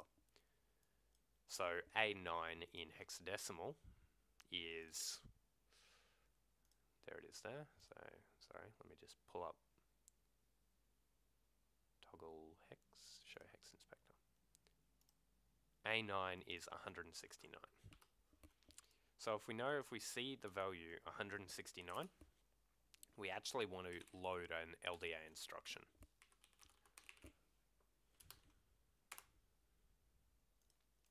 Um, now, because everything is first-class objects in Python, so functions and classes and stuff like that, we can just pass around a reference like this, and then later on we can just create a new one by um, calling new.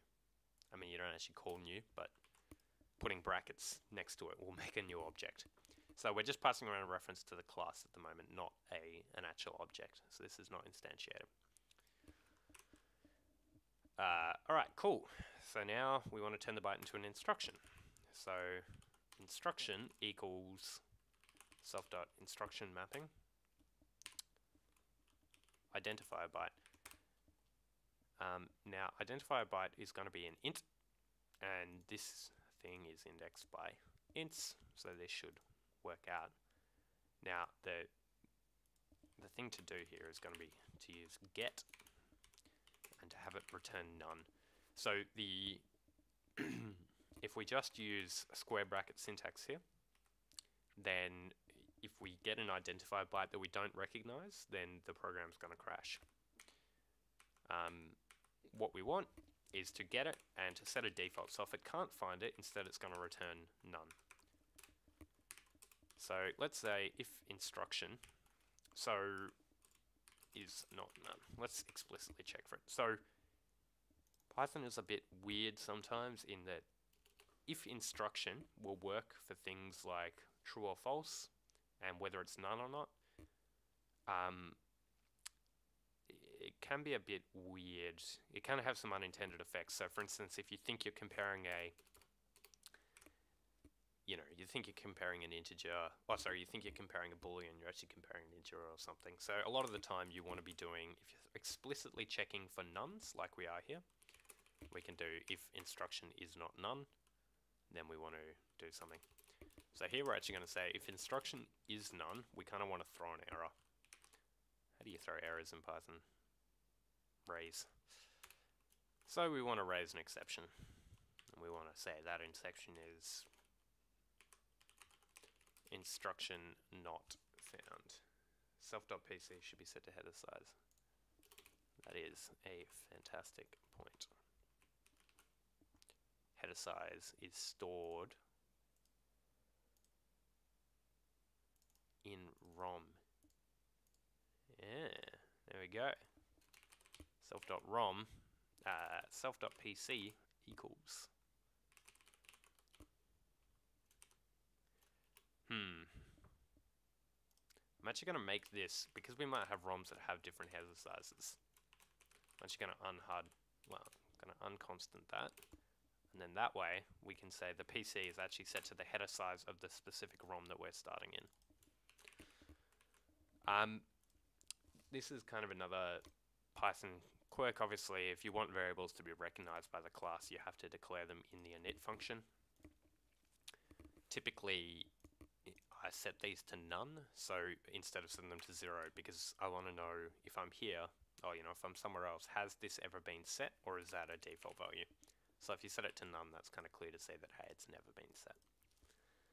Uh, yeah, this code is already starting to be cleaner, except this needs to be. I might put this on a new line just to make it a bit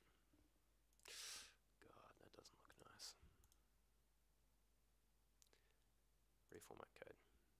Hmm. Yeah, there we go. Nice. All right. Um, thank you, Cadex. That's a good point.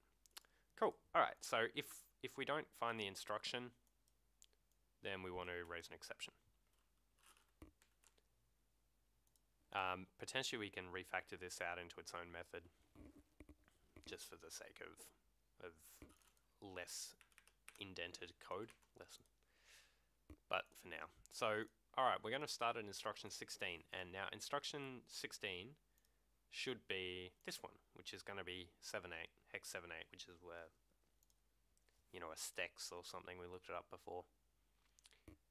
Now, we haven't implemented that, so presumably this should raise an exception saying instruction not found. Awesome. Now, here's the fun part let's make it work. And to do that, let's implement a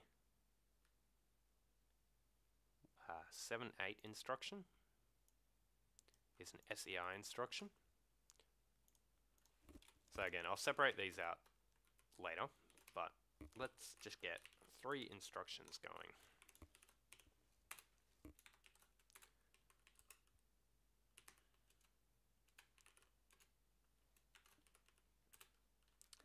Obviously these classes will actually do different things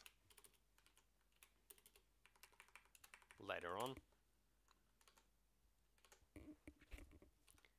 And the last one's going to be D8. Um, D8 CLD. Now, I don't actually know what these instructions do, so I'm not going to properly implement them. Um, but my hope is that it will, um, yeah, we'll implement them properly in due course. And obviously have some documentation about what these actually do. Cool. All right. So we need to put them into our instruction mapping. So let's check that here. So 7.8 is 120. And 120 was SEI. And D8 is going to be 216, which is going to map to our CLD instruction. Now again, there might be better ways of doing this. Oh, might be. There are better ways of doing this, but for now, I'm just going to have this this dictionary, um, and then just reference it whenever it um yeah Ch- update it for now. Uh, I'll come up with a smarter way of doing this later. Cool. So now we should actually get three instructions in before we hit an instruction that we haven't encountered before, or four instructions in. Instruction not found. All right, that's interesting. So let's see if we're if we're making it. Ah, yeah. So instruction is none. Identifier byte is two. Get this, get 16. Right, so the answer is I've already offset by 16 here. Um, so the program counter should actually just be set to, to 0. Now the interesting thing is, I don't think it should be. I think we should be dealing with everything in absolute terms, in, in memory terms, probably. It's going to make our lives a lot easier. So we do want our PC to start at 16. What we don't want, when we pass in this, we actually want it to get the data. Yeah, so actually, this is our PRG bytes, but the ROM bytes actually start at zero. So God, that's annoying. Alright. So what's another way of saying this? So we don't actually want to index things. When we get a byte, we actually want to give it this position should be relative to ROM bytes, not to the PRG bytes. We don't probably really care about what those PRG bytes are. We just care about the whole thing. Does Python 3 have hex literals? Yeah, that's a great point. I have no idea. Let's look it up. At the moment, I am doing everything in ints. It might be cleaner for debugging to use instead of looking at Yes, that is 100% true. Uh, my suspicion is that there's uh, the byte representation is probably going to be the closest that you come, but I don't actually know. Yeah, use byte literal. And you can say bytes dot from hex. That's going to be really useful. So probably the answer is what to do is don't store everything as int, store it as bytes. And when I want to refer to a hex thing, I can just type bytes dot from hex. Yeah, you're right, that's going to be way cleaner. Yeah.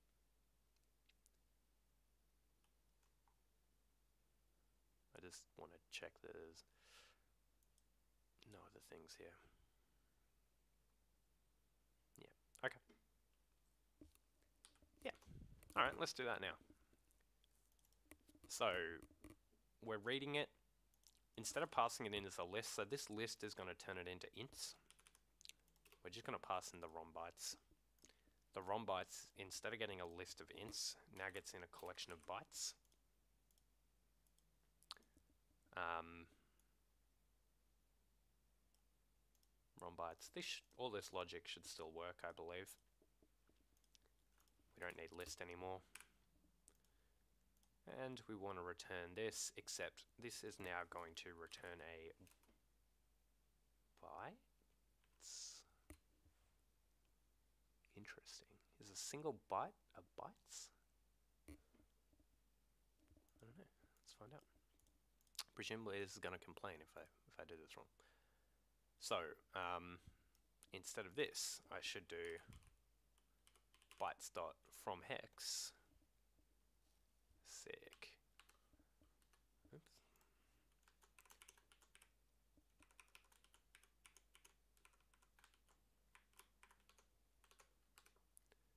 So let's look up the SEI instructions. Here we are. So SEI was, ah, I can just look at my, my ROM here. So 7, 8 is the hex for the first one.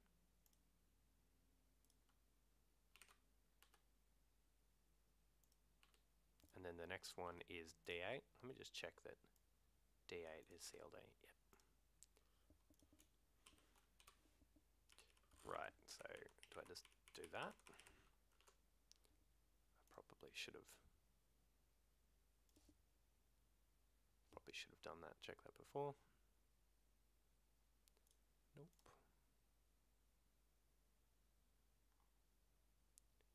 From hex. Yeah, okay, so I just passed it a string. And LDA was A9, I believe.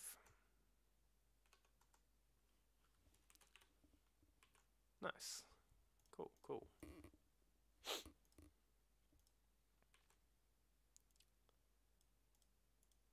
Um, yeah, let's see if that works.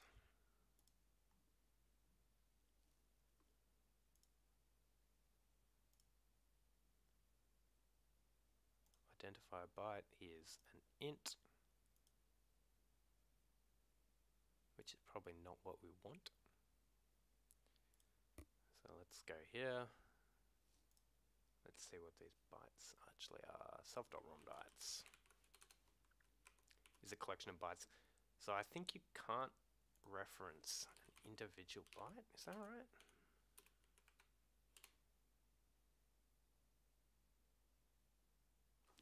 Self.rom bytes 0 equals int 78. Hmm. So what does byte stop from hex return?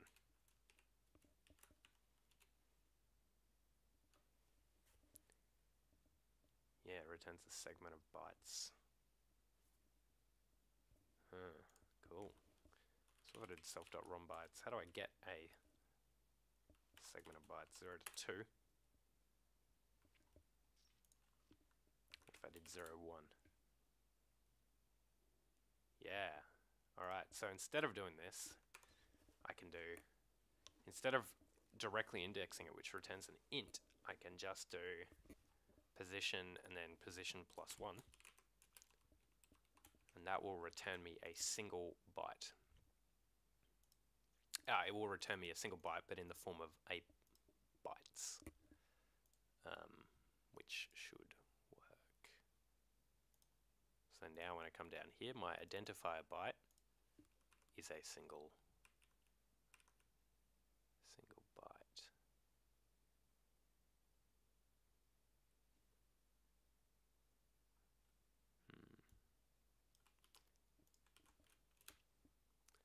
which is maps to x,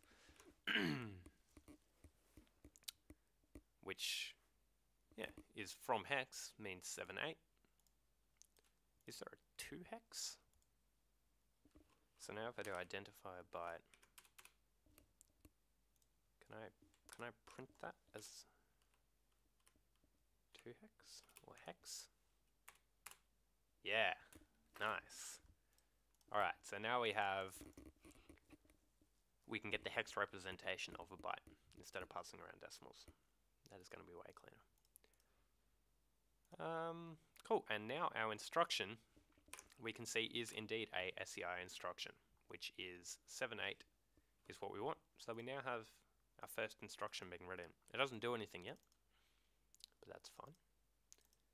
Um, when we get down to LDA instruction, so let's keep going here. So we have a valid instruction, presumably, because we haven't raised that exception out. Valid might be an interesting word. Non-exception raising instruction. Um, let's see.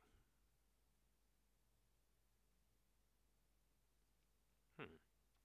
What do we want to do now? We want to execute it.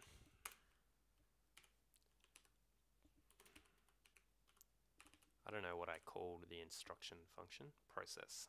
I'm going to rename that to execute because I prefer that. Nice. So now, presumably, if we run this code, it's going to print out the first three instructions.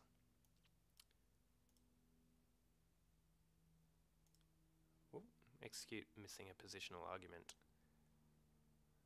Fair enough. Doing something dodgy there.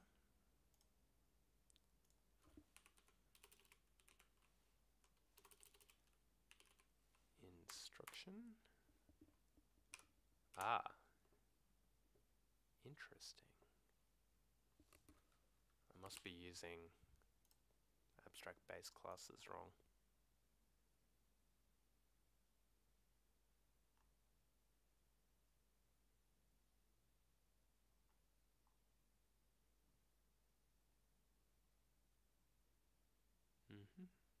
Derived abstract is derived d dot foo hooray. Huh.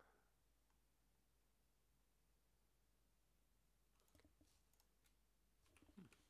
SEI instruction is a class.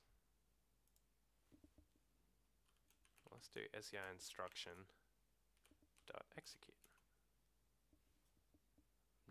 Passing in self. Ah. Ah, jeez. Okay, I'm not very smart. So instruction is actually this is going to give us our class. That's what I've done wrong. So if instruction class is known, then so we want to actually make an instruction.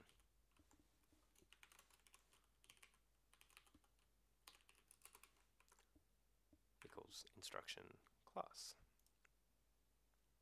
Instruction class is not callable.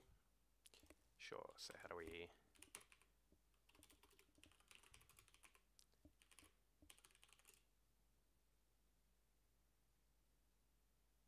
hmm.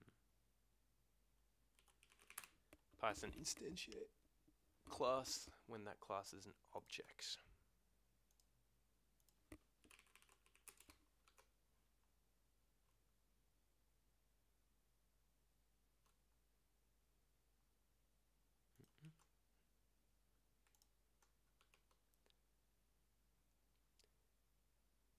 Yeah, here we go.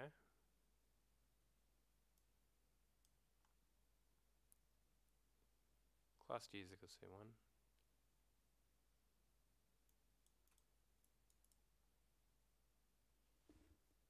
Oh, so maybe I can't do this.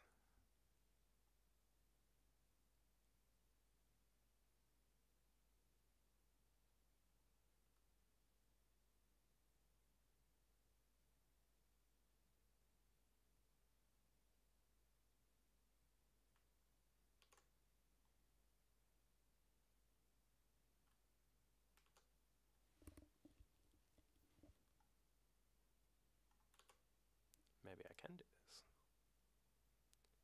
Nope. Ah, because I'm not passing in an identifier byte. Which the identify instruction now no longer needs. Ah, so I could construct this automatically by making a property of here. But we'll do that some other time.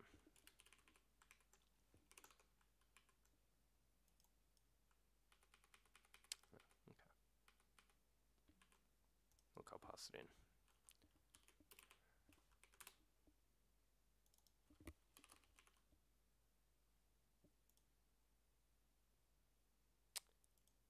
Nice. Um, now we so we now have an instruction that is being executed um, over and over and again. The PC is not getting incremented because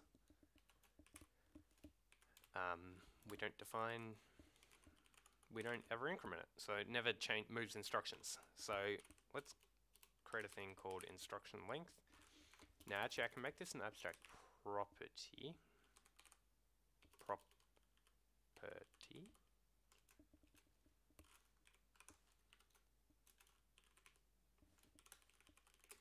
And I'll say it returns one but instruction length whereas these ones have an instruction length of 1. So I'm probably going to make this explicit rather than implicit. Can you make this, please?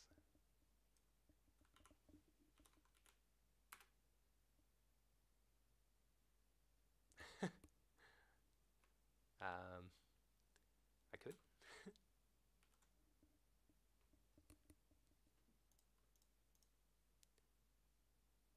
Alright, so we now have a instruction length. So after we've executed that instruction, let's say self.pc plus equals the instructions instruction length. So now, sweet. So we now are reading in the first three, um, first three things. Let's give these all a name as well. Whoa.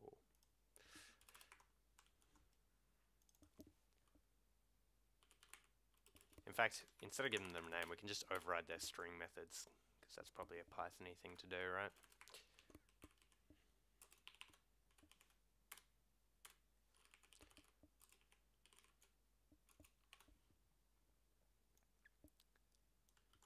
Load A. And instead of execute printing, let's just make it print self dot string.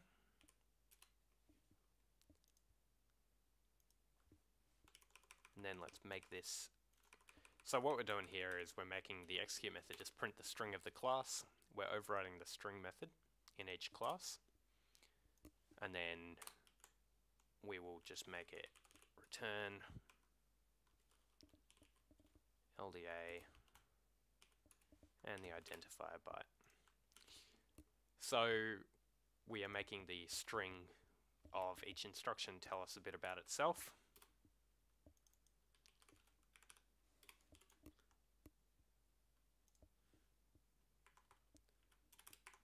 This is a bit more verbose, but it's going to tell us good information in the in the long run. Sweet. So it tells us the first instruction is an SEI, which and the identifier byte was that. Now this this isn't particularly useful to us because we can't read this. So let's turn this into two hex. Now obviously we're going to be able to standardize this lately later. Um, in fact, we can do it now because we're going to make this code code sexy. Cool. So identifier byte was 78, which makes an SEI, CLD, um, which was a D8, and then LDA, which was an A9. Um, cool. So let's make this nice and generic and say we're going to put the instruction name here and then the instruction byte. And we'll say it's our self dot name. So what we're doing here is we're overriding string in the base class. We're going to change this. this is going to be our name. And our identifier byte is going to be this variable. And so we just have to make another abstract property called our name.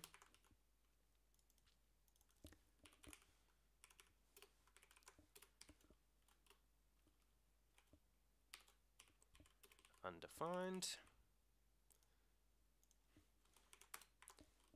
And now we can just say our name is LDA. Now it's a little bit cleaner. And looks a little bit nicer, I think. So this um, single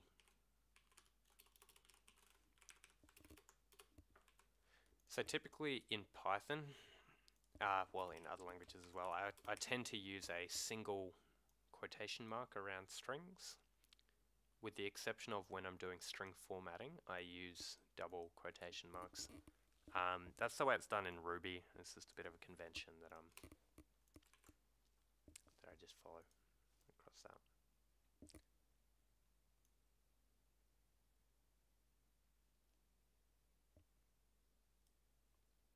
Cool. All right. Instruction class is not callable. Because it's an ABC, and so it's inheriting. Uh, this is something we can figure out later. It works. All right. Um, cool. So we have three instructions now. They are we read in the file. We know it's SEI, CLD, LDA, and we know what identifier bytes they are, and we each of these can have a different execution path. you really gotta hate putting. sing- Yeah, I've been doing some Java recently, and it has tripped me up multiple times because um, single quotation marks in Java look and pretend to be strings, but they're definitely not. So yeah, I've I've been hit by that one before. I don't actually know what they are. They're like byte literals or something in Java. If you put a single quotation mark, it's a bit weird. Oh. well. Um, in in your Rubies and your Pythons of the world, there's no real difference. Actually, in Ruby, you need to have double quotation marks to um to format strings, but. All right. Um. Cool. So now we're executing through the program. They're chars. that makes sense. Does Python have chars? Isn't that was yeah? I'm a bit confused by that, but I think that Python 2 strings were a collection of chars, but in Python 3 they're actually strings. Maybe I don't know. It's something I should probably look into. Oh well. All right. Cool. So what's next? Making these instructions actually do something, and um, yeah, cr- implementing more instructions. There's definitely going to be a smarter way to doing this. Instead of having, I might just do that now. Instead of having this instruction mapping be constructed like this, um, probably the easiest way is going to do it is and this way we don't have to pass in the identifier byte. We can again do, let's put an abstract property on here, which is an our identifier byte. Return, um, hmm, great question, none. And this is going to return some bytes. No, yes, yes. This is going to return. I need to get into the habit of doing these um, function annotations. I presume if I do the base, the uh, the rest will be annotated. Things that inherit from it, I suppose. Chars. Cool. And self dot identifier byte. Now we don't need to pass it in here. So our init can just be a pass statement for now.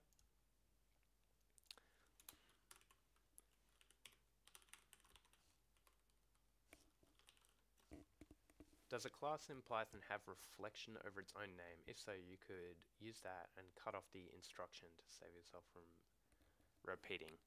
Um, yeah. I don't know. Good question. I'm going to do this and then I'll come back and answer that.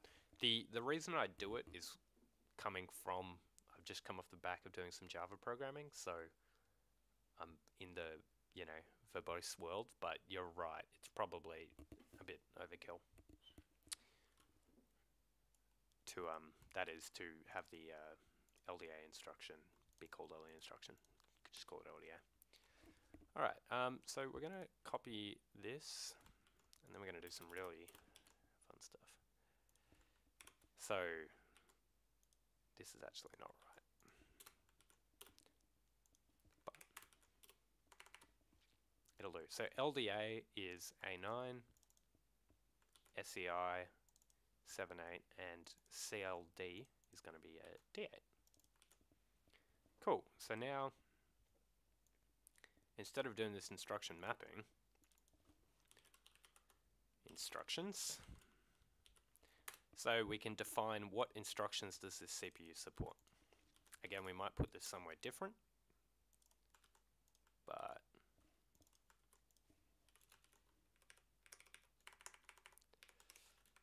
and then we can do self dot instruction. Mapping is a default dict. Then for so this is going to be a bit of a dodgy way of doing it but we're just going to append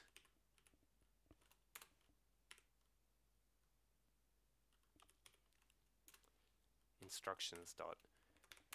So we're going to define what our instructions are, and then we're going to. No, I was talking about the name property. Interesting.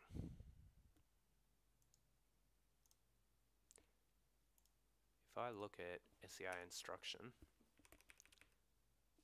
does the class have reflection over its own name?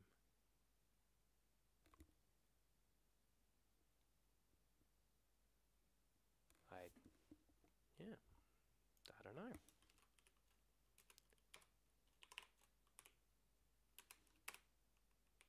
That is a great point. It does have reflection over its own name. Alright, um, that's gonna save us some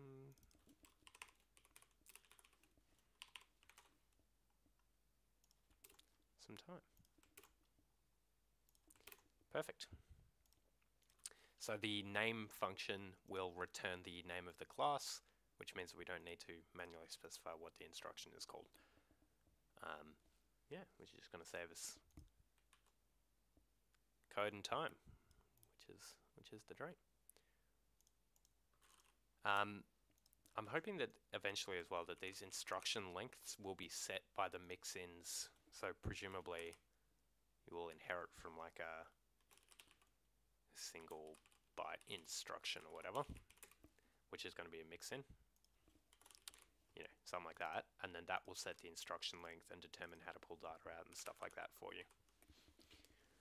Yeah, thanks, Cadex. That's true. All right.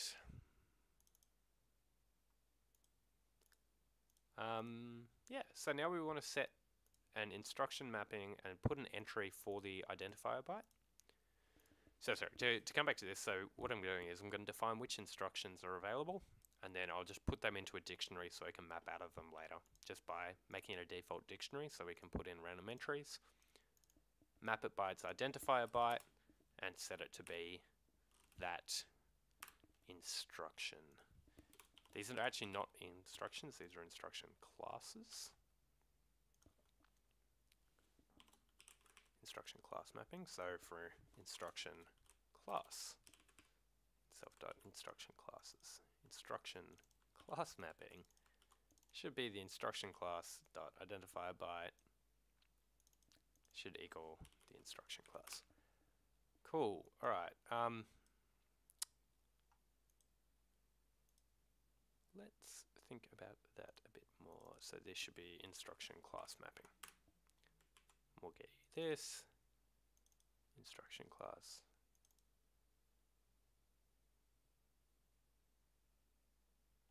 And now we don't need to pass in that byte. That byte thing because it knows what its byte is.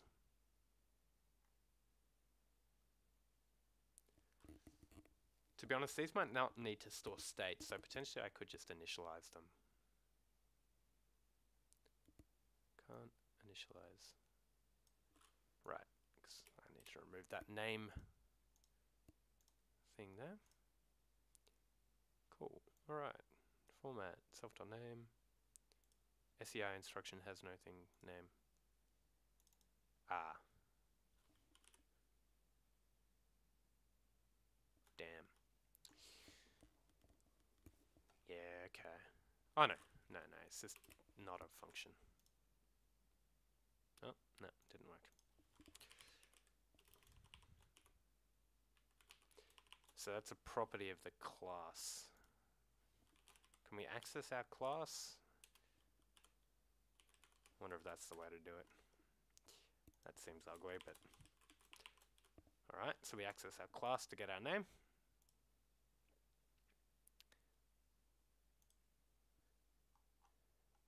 Alright, so if I restart this,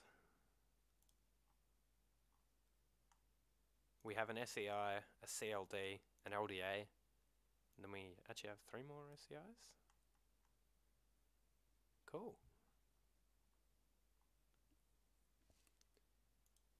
Sweet. Alright, I think that's a pretty good place. I might stop there and come back. So we've got the ROM is being the ROM is being read in. Instructions are being uh, bytes are being read in, mapped to instructions and then the instructions can define how much to implement the program counter, and we're actually starting to iterate through through the ROM. So the next step will be to implement a lot more of these instructions and to start doing them a bit smarter. So to start using some mix-ins and do um, and and do kind of how we read things through that and how instruction length gets determined through that instead of specific specifying it. Um, yeah, sweet. I think this is pretty pretty cool. All right, so I'm going to let's see. Uh, why aren't we passing the bytes anymore? Uh, yeah, we we are doing that, although I might not have annotated that correctly in all the places. This does return bytes. And I think the ROM returns bytes now as well. Yeah, but we do pass in position. The program ah, sorry, the program counter isn't int, but we do receive bytes everywhere else. Yeah, all right. I might um push this up to to Git uh, to GitHub. I think this is going to be a git at all kind of job.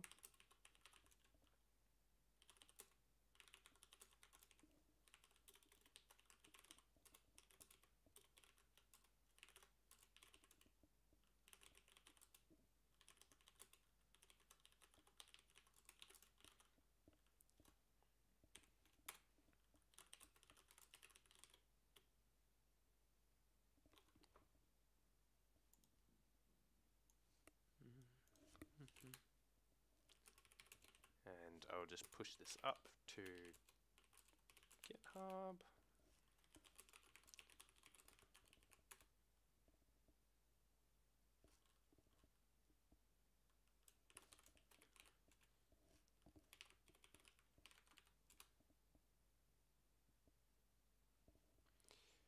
Sweet. So if I come back to GitHub now,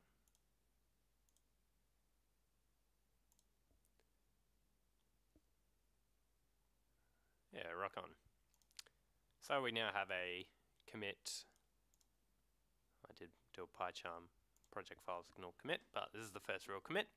Writing in the NES ROM, sending first instructions to the CPU. I might do a um, I'll do a tag as well, just to um, git tag. Um, do you need quotation marks? I don't know, probably not. So, um, yeah, episode one.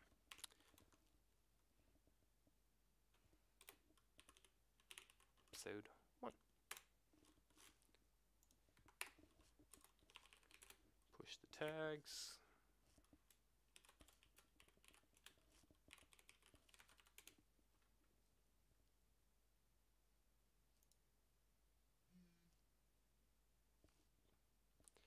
All right, and we should have a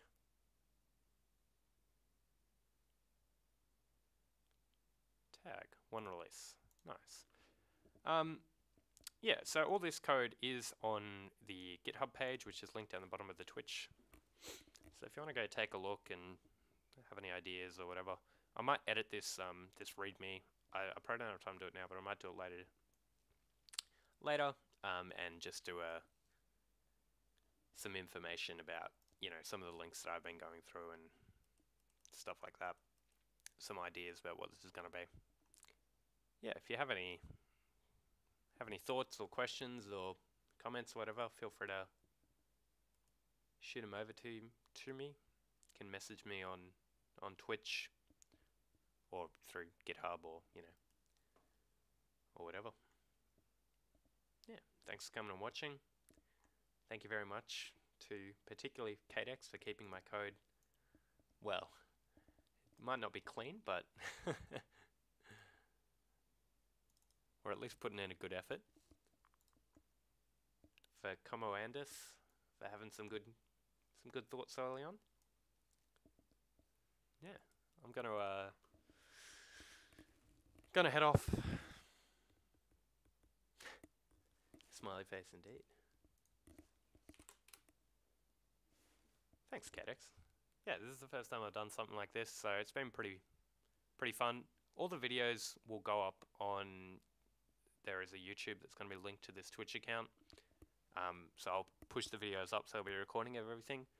I will try to do the next stream tomorrow at around the same time. So I started this one around 2:30 GMT. Um, it might be, yeah. I'll try and try and do it. Maybe might be around 1:30 GMT tomorrow, so around an hour earlier. Which uh, let me just figure out if I can get a countdown timer to that or something. I'll try and commit to doing it then. Time.is, which is a really cool site, but I don't know if I can.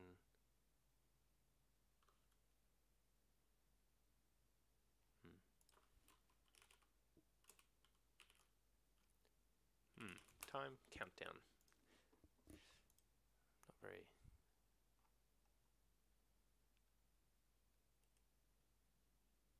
It's almost. That seems good to me.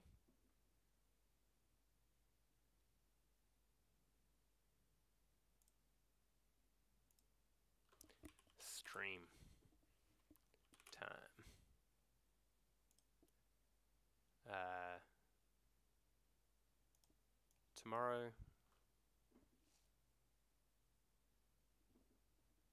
It's 7:17 a.m. Jeez. Um, yeah, look, I'm I'm I'm not really set to a to a streaming time or anything. I kind of uh, the idea hopefully will be as long as I'm recording videos, at least people can can keep up if they want. Hi, little brown. Thank you for coming and taking a look. Um, yeah, I, I'm not really. It's at I'm in Australia, so it's like the middle of the day right here now. It's like three, three eighteen. So I'm pretty pretty flexible with whenever I stream. It could be also at night, which had been around four hours, but probably somewhere in this eight hours or something. We'll have to check out YouTube. Awesome. Um, hmm. Yeah, it's a good question. I'll, yeah. I do kind of want to keep a semi, well, not regular, but at least have some kind of countdown to when something's going to go on. But I'm not 100% sure how I'm going to do that. Hmm. Yeah, if you have any thoughts or any any ideas on when I should be streaming, I kind of picked this time at a bit random, but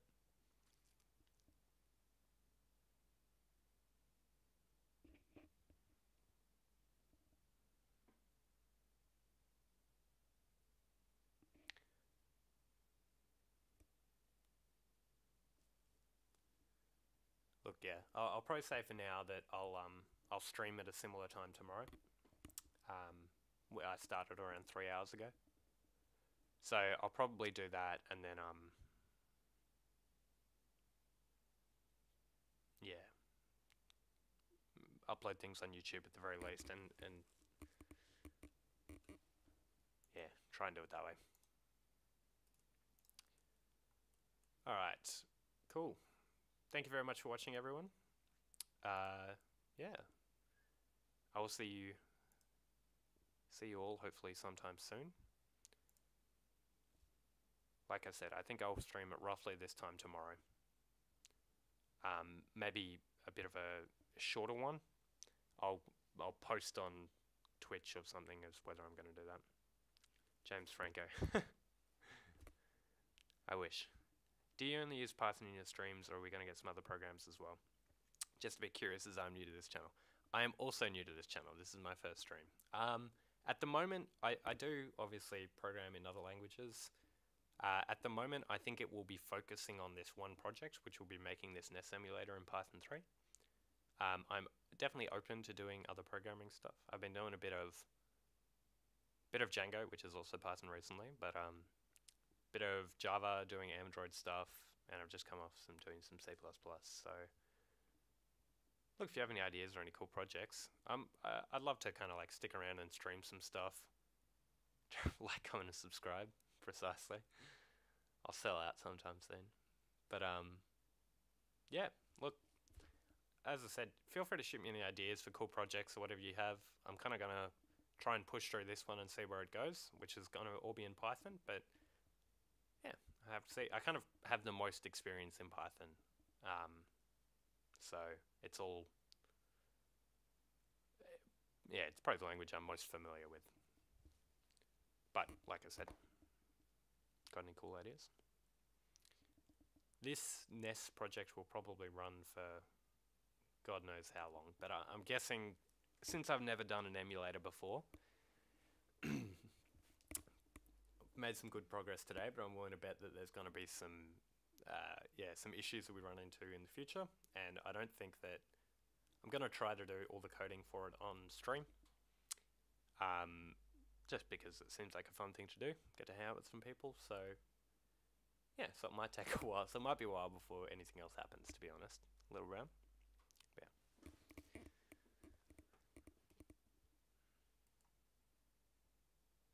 All right. Cool. Cool indeed. I will uh, see people see people tomorrow. Yeah, thanks for watching the stream.